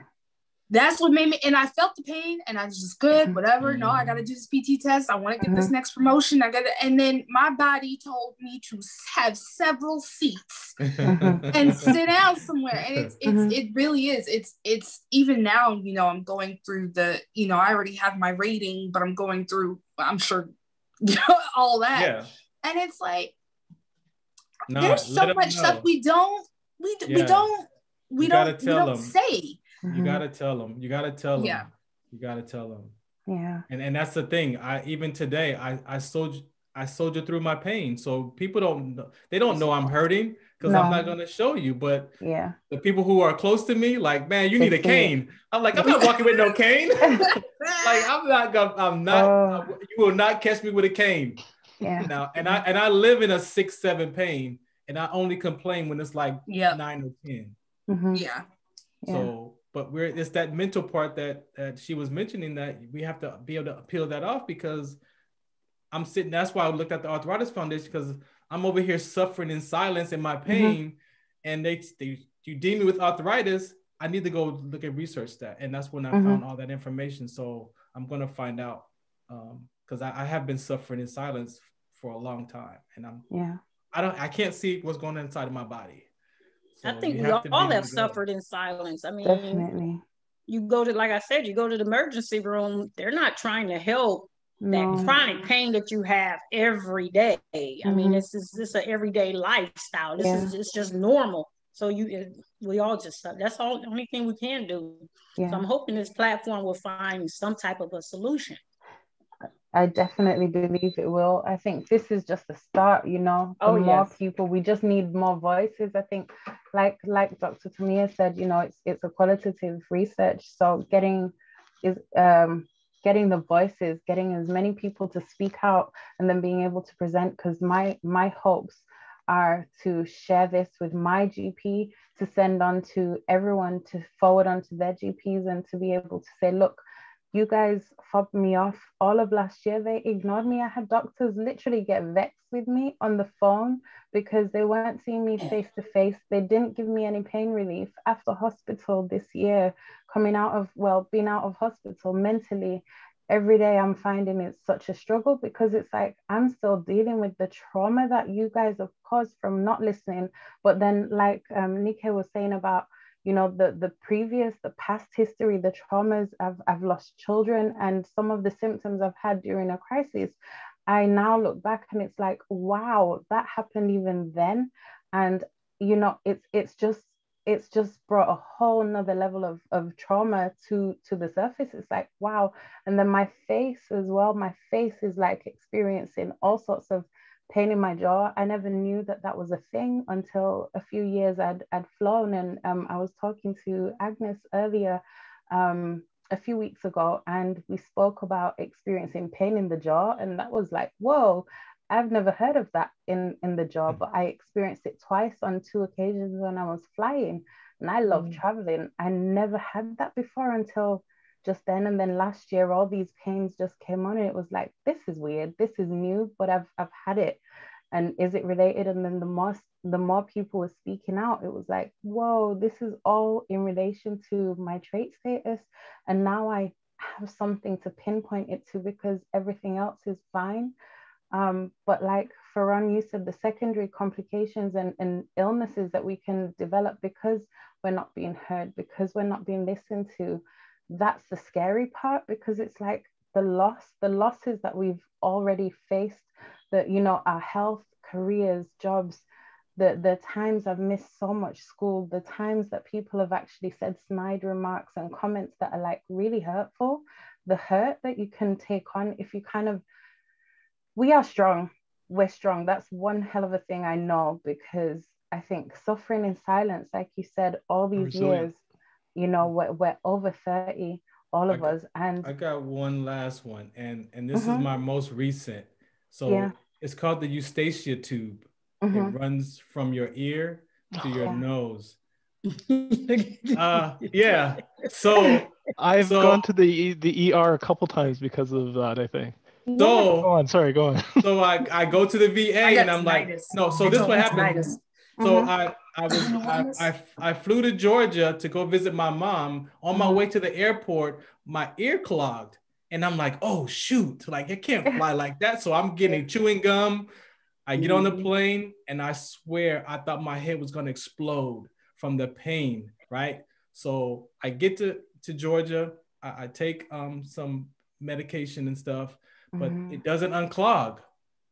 So I fly back home and I put cotton and everything that I could to get back home at least. Same mm-hmm. thing, piercing, piercing, piercing. I go mm-hmm. to the VA and they're like, okay, so they make you do all these tests before mm-hmm. they actually let you go see the specialist. So I did all their tests, balance mm-hmm. tests, all this stuff, and they finally, I finally get to the to the specialist, and he says, "Oh, well, there's the muscle in your eustachian tube has collapsed."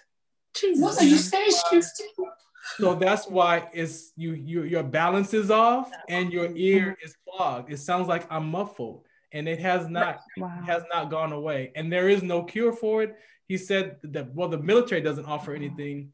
They he said there's a, a clinical trial coming where they'll be able mm-hmm. to stick something in the in through there and then kind of open it back up. But I'm like, peace. Wow.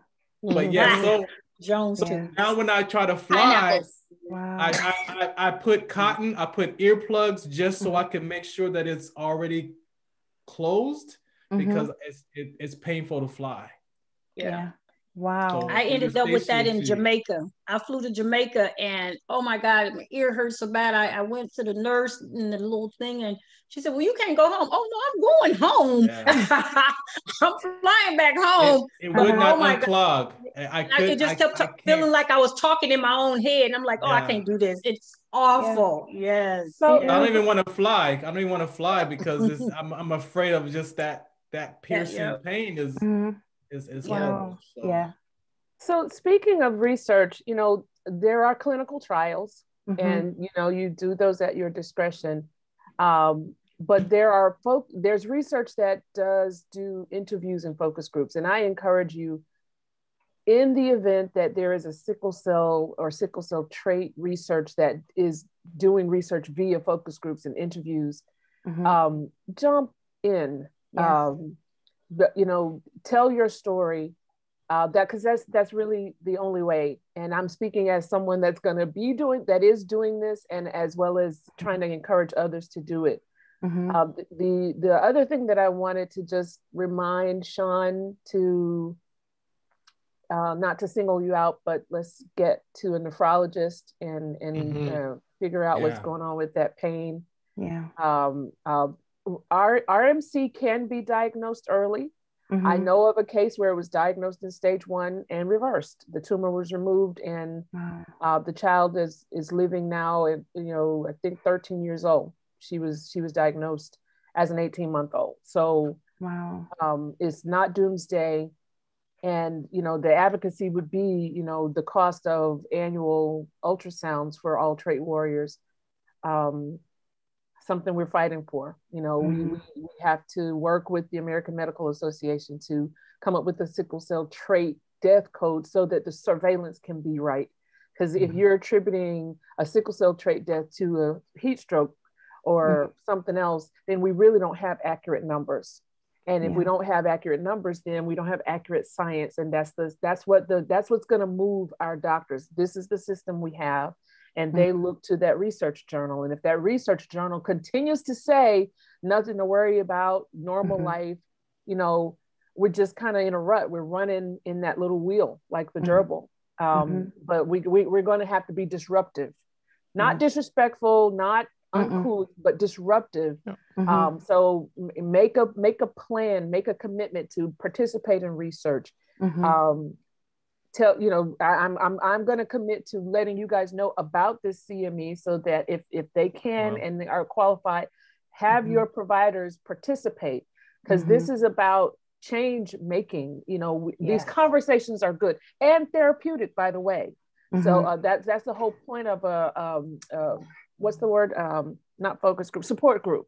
Mm-hmm. But we, we wanted to also put action there because yeah. you know you guys deserve this. Um, yeah. and I, and so I know that Dr. Maisha, who's on my on my board, and she's also creating her own organization. She we were talking about RMC, and what mm-hmm. happens is because the kidneys have those very she says they're very small blood vessels. So what happens is when they get damaged, mm-hmm that's where you may have those pains because the breakdown of all the muscles and all the toxins can cause that to scar. It's like scar tissue. So mm-hmm. once once they die mm-hmm. off, it starts to. But is that actually pain in abdomen or like it around could, the kidneys area? Be, yeah, in the back. Be. Okay. Exactly. I, I don't I don't experience that type of pain, but um, yeah. just mainly my legs and arms. Yeah. but but yes, as I said, they I have had my kidney scanned and there were um, cysts that they say were benign, but that was over five years ago. So I definitely yeah. need to have it checked again and make sure. Yeah, that, that could be the scar. That could be the scar tissue from the breakdown of your mm. of those little small vessels that die, get they die off. They mm-hmm. get clogged. Mm-hmm. So yeah, the RMC is becoming very very important because yeah, there's a lady in the group who who's actually suffered a loss of her loved one. Um, so when she's ready, um, I've asked if she'd be willing to share her story because it's powerful. It's heartbreaking to read. Um, but um, yeah, I've, I'm just waiting for her time. Yeah. Yeah. Guys, we have five minutes. Um, I have, I mean, I, I, yeah, I think this we need another session. We need more sessions than just one. But I think this is just like we've just opened so much and and there's so much to be spoken about and to, to be discussed. There's so many different topics that um, affect affect us all with regards to our trait status. And oh, I, I just feel like wow, this is just I mean, I, I feel quite emotional. I'm, I'm I've been struggling all all morning um, till now to keep it together because I just feel like this is just it's doing something for me. It's healing. Um, like Dr. Tomia said, it's it's therapeutic to hear everyone's stories because for so long we felt alone. Um, so let's just keep this, keep our global voices united and, and just continue growing in number, in strength, because um, unity is power. And I just think, you know, the more we the more we get together, the more we share, um, and, and take part in research. There were a few sickle cell studies that I tried to join, but a lot of them remain closed off when you mention you, you just have, have the trait. Um, right. They kind of don't want to take you on if they're regarding sickle cell disease. Um, so it's just kind of just approaching people and saying, right, I'm, you know, I carry the trait. This is, you know, this is my story, and saying, uh, do you want to hear it? Um, and yeah, um, thank you everyone for for taking part in this it's it's so important to to me to all of us to all of you i truly am grateful from the bottom of my heart and um I I know Farron, you're you're tired. You must be exhausted now, right? Uh, hey, like I said, I, I, accept I accepted this because I was born for this conversation. So I didn't yeah. care what time it was.